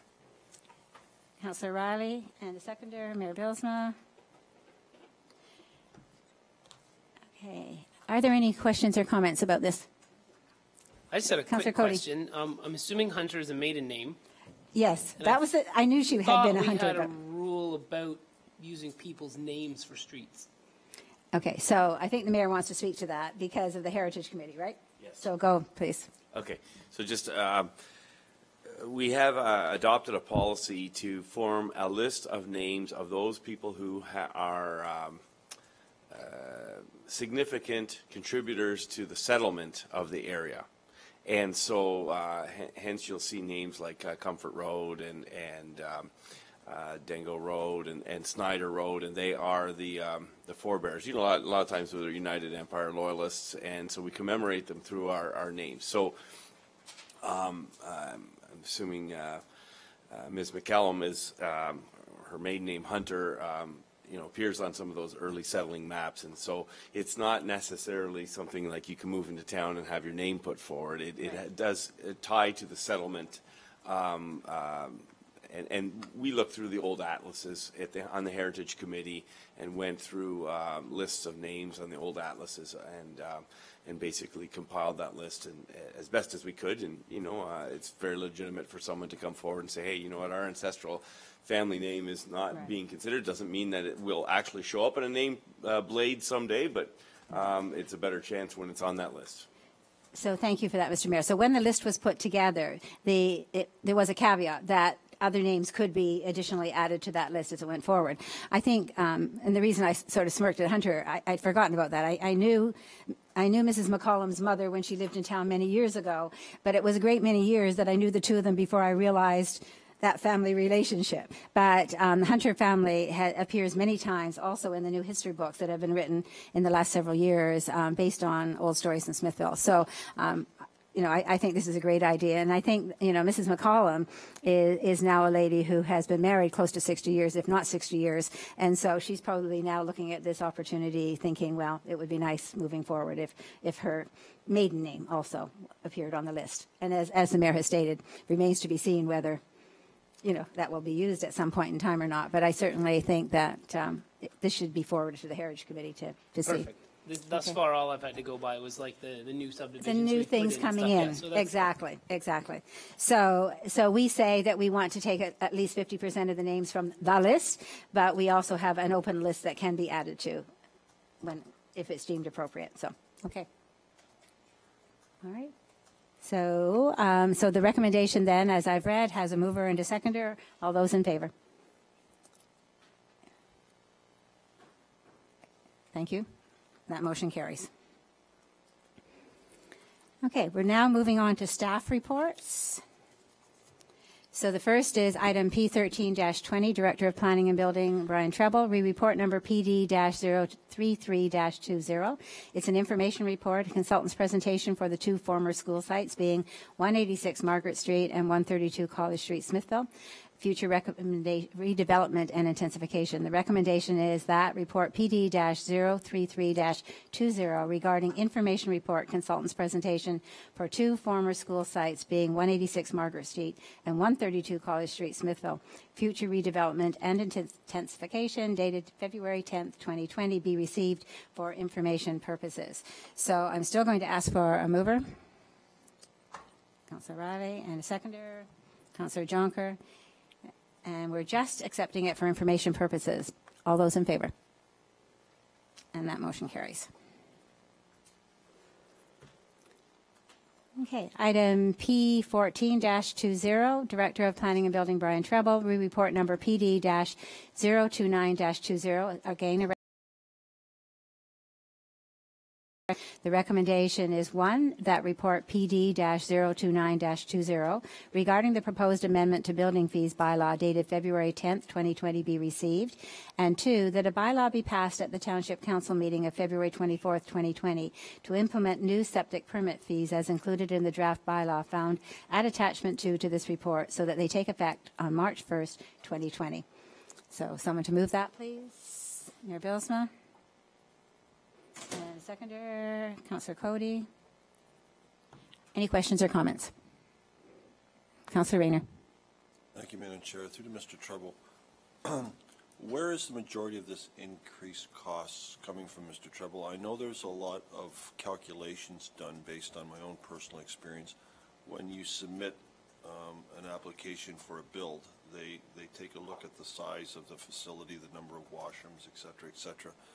And they do uh, the calculations and all the rest of that stuff. But as far as the inspection part, um, my experience has been that, well, maybe because it's done right, they don't stay very long. Um, so there's, as you can appreciate, there's probably not a lot to see because it's not even functioning. You're just looking at a, a basic pit. But I'm not quite sure where the increase in costs is coming from. Um, maybe if you can explain that in a little more detail, please. Mr. Treble, please. Through you, Madam Chair. Um, This is to cover administrative costs, and uh, there was a confidential report discussed at Planning Committee last month that explained in some detail um, for committee and council uh, the nature of the, uh, um, the reasons behind this request. So I think we'd- I'd have to go into confidential to explain that more fully, Madam Chair. Thank you. That's correct. Okay. Okay, thank you. Anybody else? Okay, so you have heard the resolution moved by Council, by Mayor Bylsma and seconded by Councillor Cody. All those in favor? Okay, that motion carries. Okay. Moving on then to item 10.3, item P 15-20. Uh, Director of Planning and Building Brian Treble, re-report number PD-030-20, recommendation report, part lot control application process. The recommendation is as follows. Number one, that report PD-030-20 regarding recommendation report, part lot control application process dated February 10th, 2020 be received. And two, that staff be authorized to review applications to lift part lot control and when appropriate, advise council by memo and place the corresponding bylaws in the list of bylaws for the passage by council only. So I need someone to move that, please. Mayor Bylsma, second. Councillor Reilly. Any questions or comments? Madam Chair. You'd like to explain, Mr. Treble? Just, just really briefly, Madam Okay. Chair. Um, Committee will recall back in, in January, it actually started just before Christmas, there was a bit of a panic on behalf of one of the developers to get uh, part lot control approvals quickly because of closings. Um, Normally, I would, I would advise that closings are set by somebody else and they're not the township's concern. But there was uh, just this um, timing issue because of the Christmas holiday season that, that fell in the middle of all of that. So it was raised by uh, Councillor Trombetta during the public process that it would be nice if there was a way that staff could in some way streamline some of the processes. This is an effort to do just that.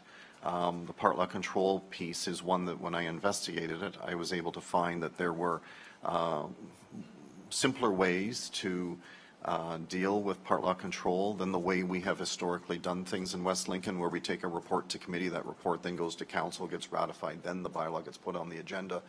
There is a way that if you can rely on staff to do the full review process, then we can simply just take a memo to council and put the bylaw on the same night, and it short, shortens the process by at least two or three weeks, I would say, in, in most cases. So that, Madam Chair, is what the essence of this report is. I can't get away from council's rule because there is a bylaw required, but it shortens the steps we have to take.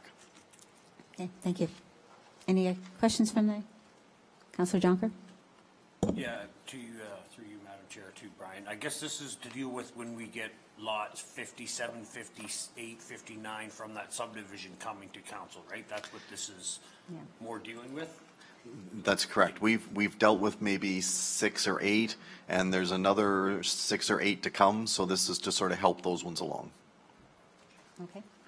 And if you recall, um, Councillor Trombetta did bring that up, and we, we sort of talked about looking at possibilities, so, okay. Well, you've heard the resolution, and we have a mover and a seconder. Mayor Bylsma, Councillor Reilly, all those in favor? And that motion carries. Okay. So item P16-20, Director of Planning and Building, again, Mr. Brian Treble, re-report number PD-028-20. This is an information report about trail linkage, uh, Station Street to Dufferin Street. And the recommendation is that report PD-028-20 regarding information report trail linkage, Station Street to Dufferin Street, dated February 10th, 2020, be received for information purposes. So I still would like a mover, please. Councillor Rehner, and seconder, Mayor Bylsma. And do you want to speak first to this, Mr. Treble? Um, Through you, Madam Chair, only to say that I, I had received the request by committee uh, several months ago, but I, I kind of had to wait until we had our consultant uh, completing his review on College Street to know that Um, There was agreement generally on, on a a flow connection to, to get us uh, somewhere good. I think generally I can say with, with confidence that from around the train station on Station Street, uh, we can get linkages into, into uh, the Mars development and vice versa. The piece that's not quite as clear yet, and, and, and will take staff and better weather to be able to figure out exactly how we get from, I think it's called Dennis Drive, through to Dufferin. There is definitely a way to do it on paper, but I'm not convinced it's quite as good when I get to the ground. So I have to check that out in the spring. Okay. But ideally, we, I remember when I first came on council asking about that linkage to get through so that people were not always having to come out of Mars and Rosemont onto the main street and then, you know, down through town, but, but looking at another nicer way for them to make their way over to the community center. So that's good to know. Yes. Mayor Bylsma. So I just wanted to make um, uh, one comment and then one, one request. Um, The comment is this, uh, I love this, and the part that really excites me um, is the, uh, the one portion there uh, by the train station um, where I've taken a bit of a personal interest in, um, in, in helping the uh, Historical Society, and, and I, I think that um, our very beautifully restored train station is a little bit underutilized in terms of walkable, walkable traffic. Uh, there's still a lot of work that needs to be done to that site, and um, I think that this is a key part if we can get that um, that that part of the trail, quote unquote, uh, developed in a, um, in a very well thought out way. Um, could be quite advantageous to the. Um, uh, it, it could be a destination um, of, of walkability. That's the first thing. So I, I really like. I'm really excited about that. And the request is this: um, that we um, just continue to um, uh, try to find a, uh, a connection uh, to that little parkette in the Mars development uh, to the uh, train station along the old train line. Uh, so a little bit of that arc. If there was a way we could sneak uh, something along that, I think it's Galaxy pallets, and then there's a bit of a, a vacant lot. Um, it's kind of at the end of uh, Brock Street there and, and kind of comes in and, and just on, on the site map, it looks like it's all part of the Galaxy Pallet um, uh, ownership. Uh, I don't see any lines that separate it, but uh, some way that we could find a connectivity in there, I think that would be even um, um, a finer uh, connection. But again, appreciate the work done. Um, but if I'm going to ask and put on my wish list, um, that would be a, a, a wonderful, I think, uh, connection. So, thanks. So good work, but keep it top of mind. I think that's the, I think that's the message. There's another stakeholder. Absolutely, absolutely. Is there anyone else who wants to make a comment or on that? Okay, so we have a resolution and a mover and a seconder. Councillor Rehner and Mayor Bylsma, all those in favor? And that motion carries.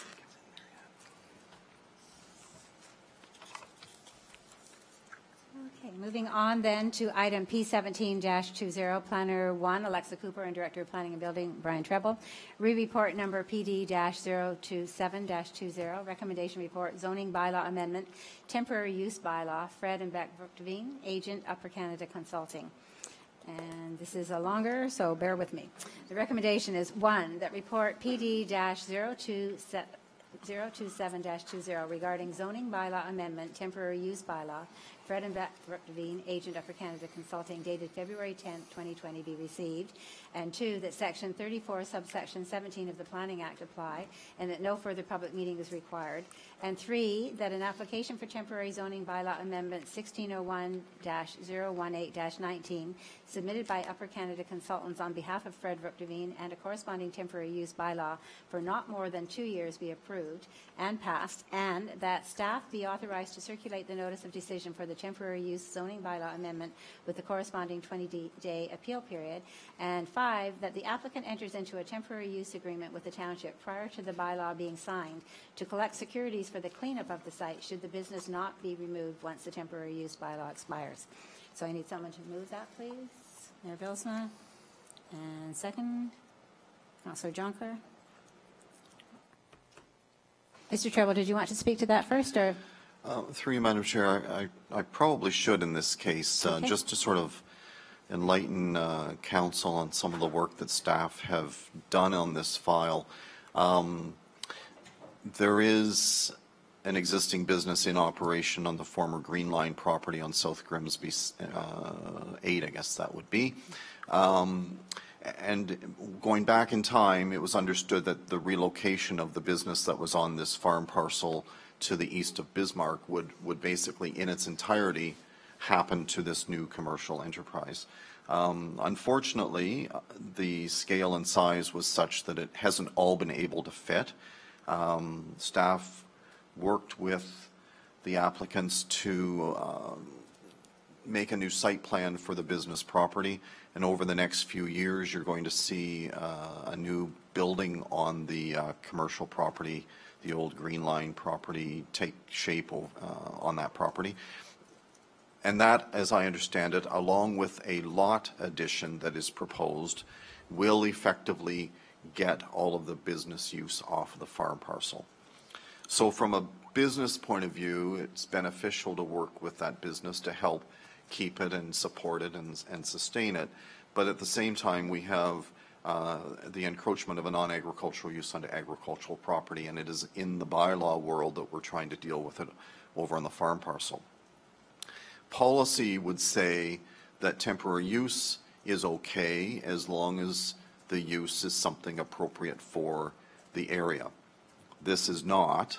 Um, so I had to do a bit of work with uh, the regional staff to get onto the same page of being able to use the temporary use process as a way to um, help this transition along.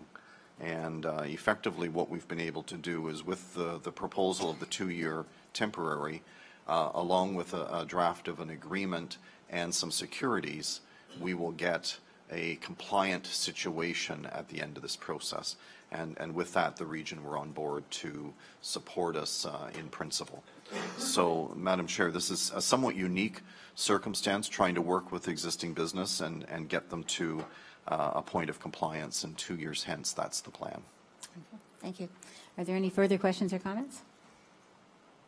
Okay, seeing none, then you've heard the resolution. I'm not going to read it again. We have a mover and a seconder. All those in favor? And that motion carries.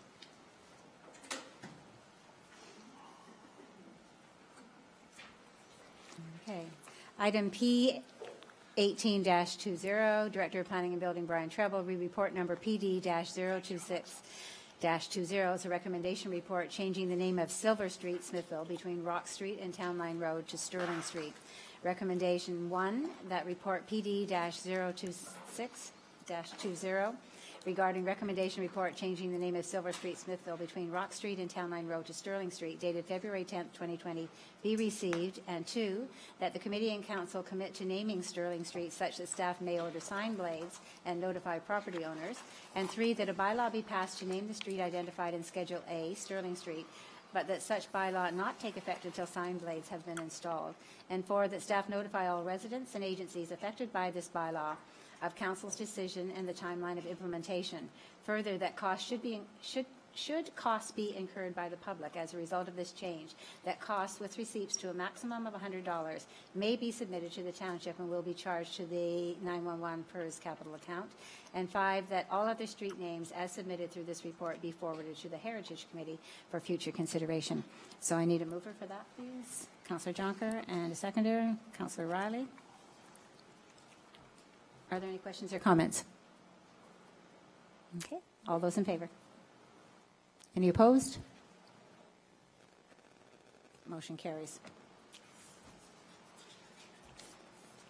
Okay, and 10.7 on your agenda is item P 19-20, Municipal Bylaw Enforcement Officer Tiana Dominic and Director of Planning and Building Brian Treble. Re-report number PD-031-20. It's an information report, the draft of a new sign bylaw. The recommendation is one, that report PD-031 20 regarding information report draft of a new sign bylaw dated February 10th, 2020 be received for information purposes at this time. So again, a mover, please. Mayor Bylsma and a seconder, Councillor Reilly. Um, Do you want to be on again, Mr. Treble? Would you like to give explanation to this before questions? Certainly. Um, The new zoning bylaw that was put in place in 2017 uh, was approved with an understanding that a couple of new bylaws would have to be forthcoming in order to implement pieces that historically were under zoning, but it really wasn't the right place for them. Sign bylaw is one of those.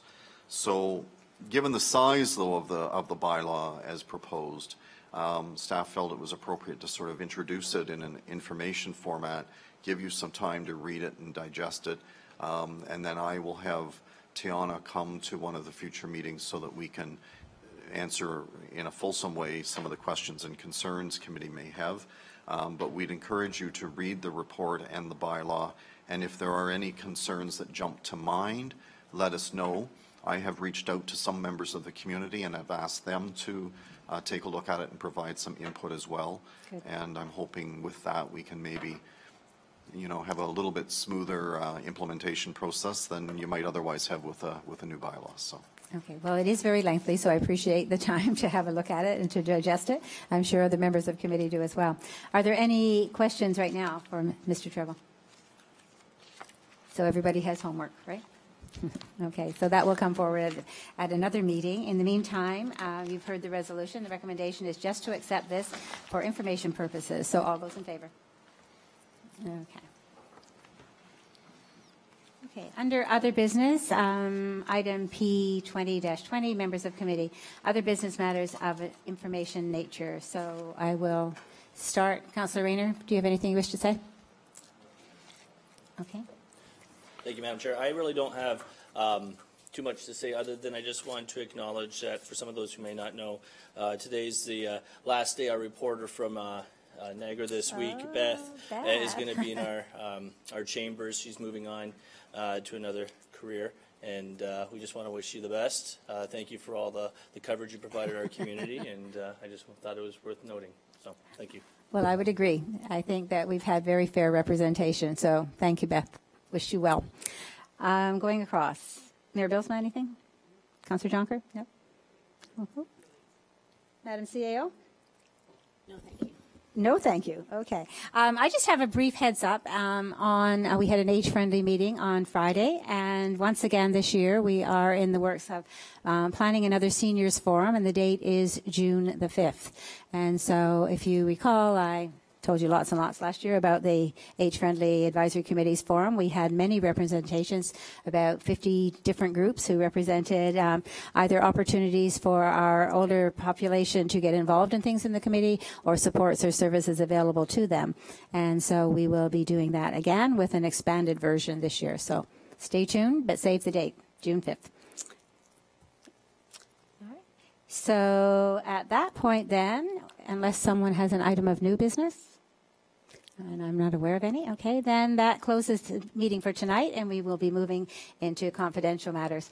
So we have item P21-20, Deputy Clerk Elsa Corey, uh, re-committee appointment, applicable closed session exemptions, personal matters about an identifiable individual, including municipal or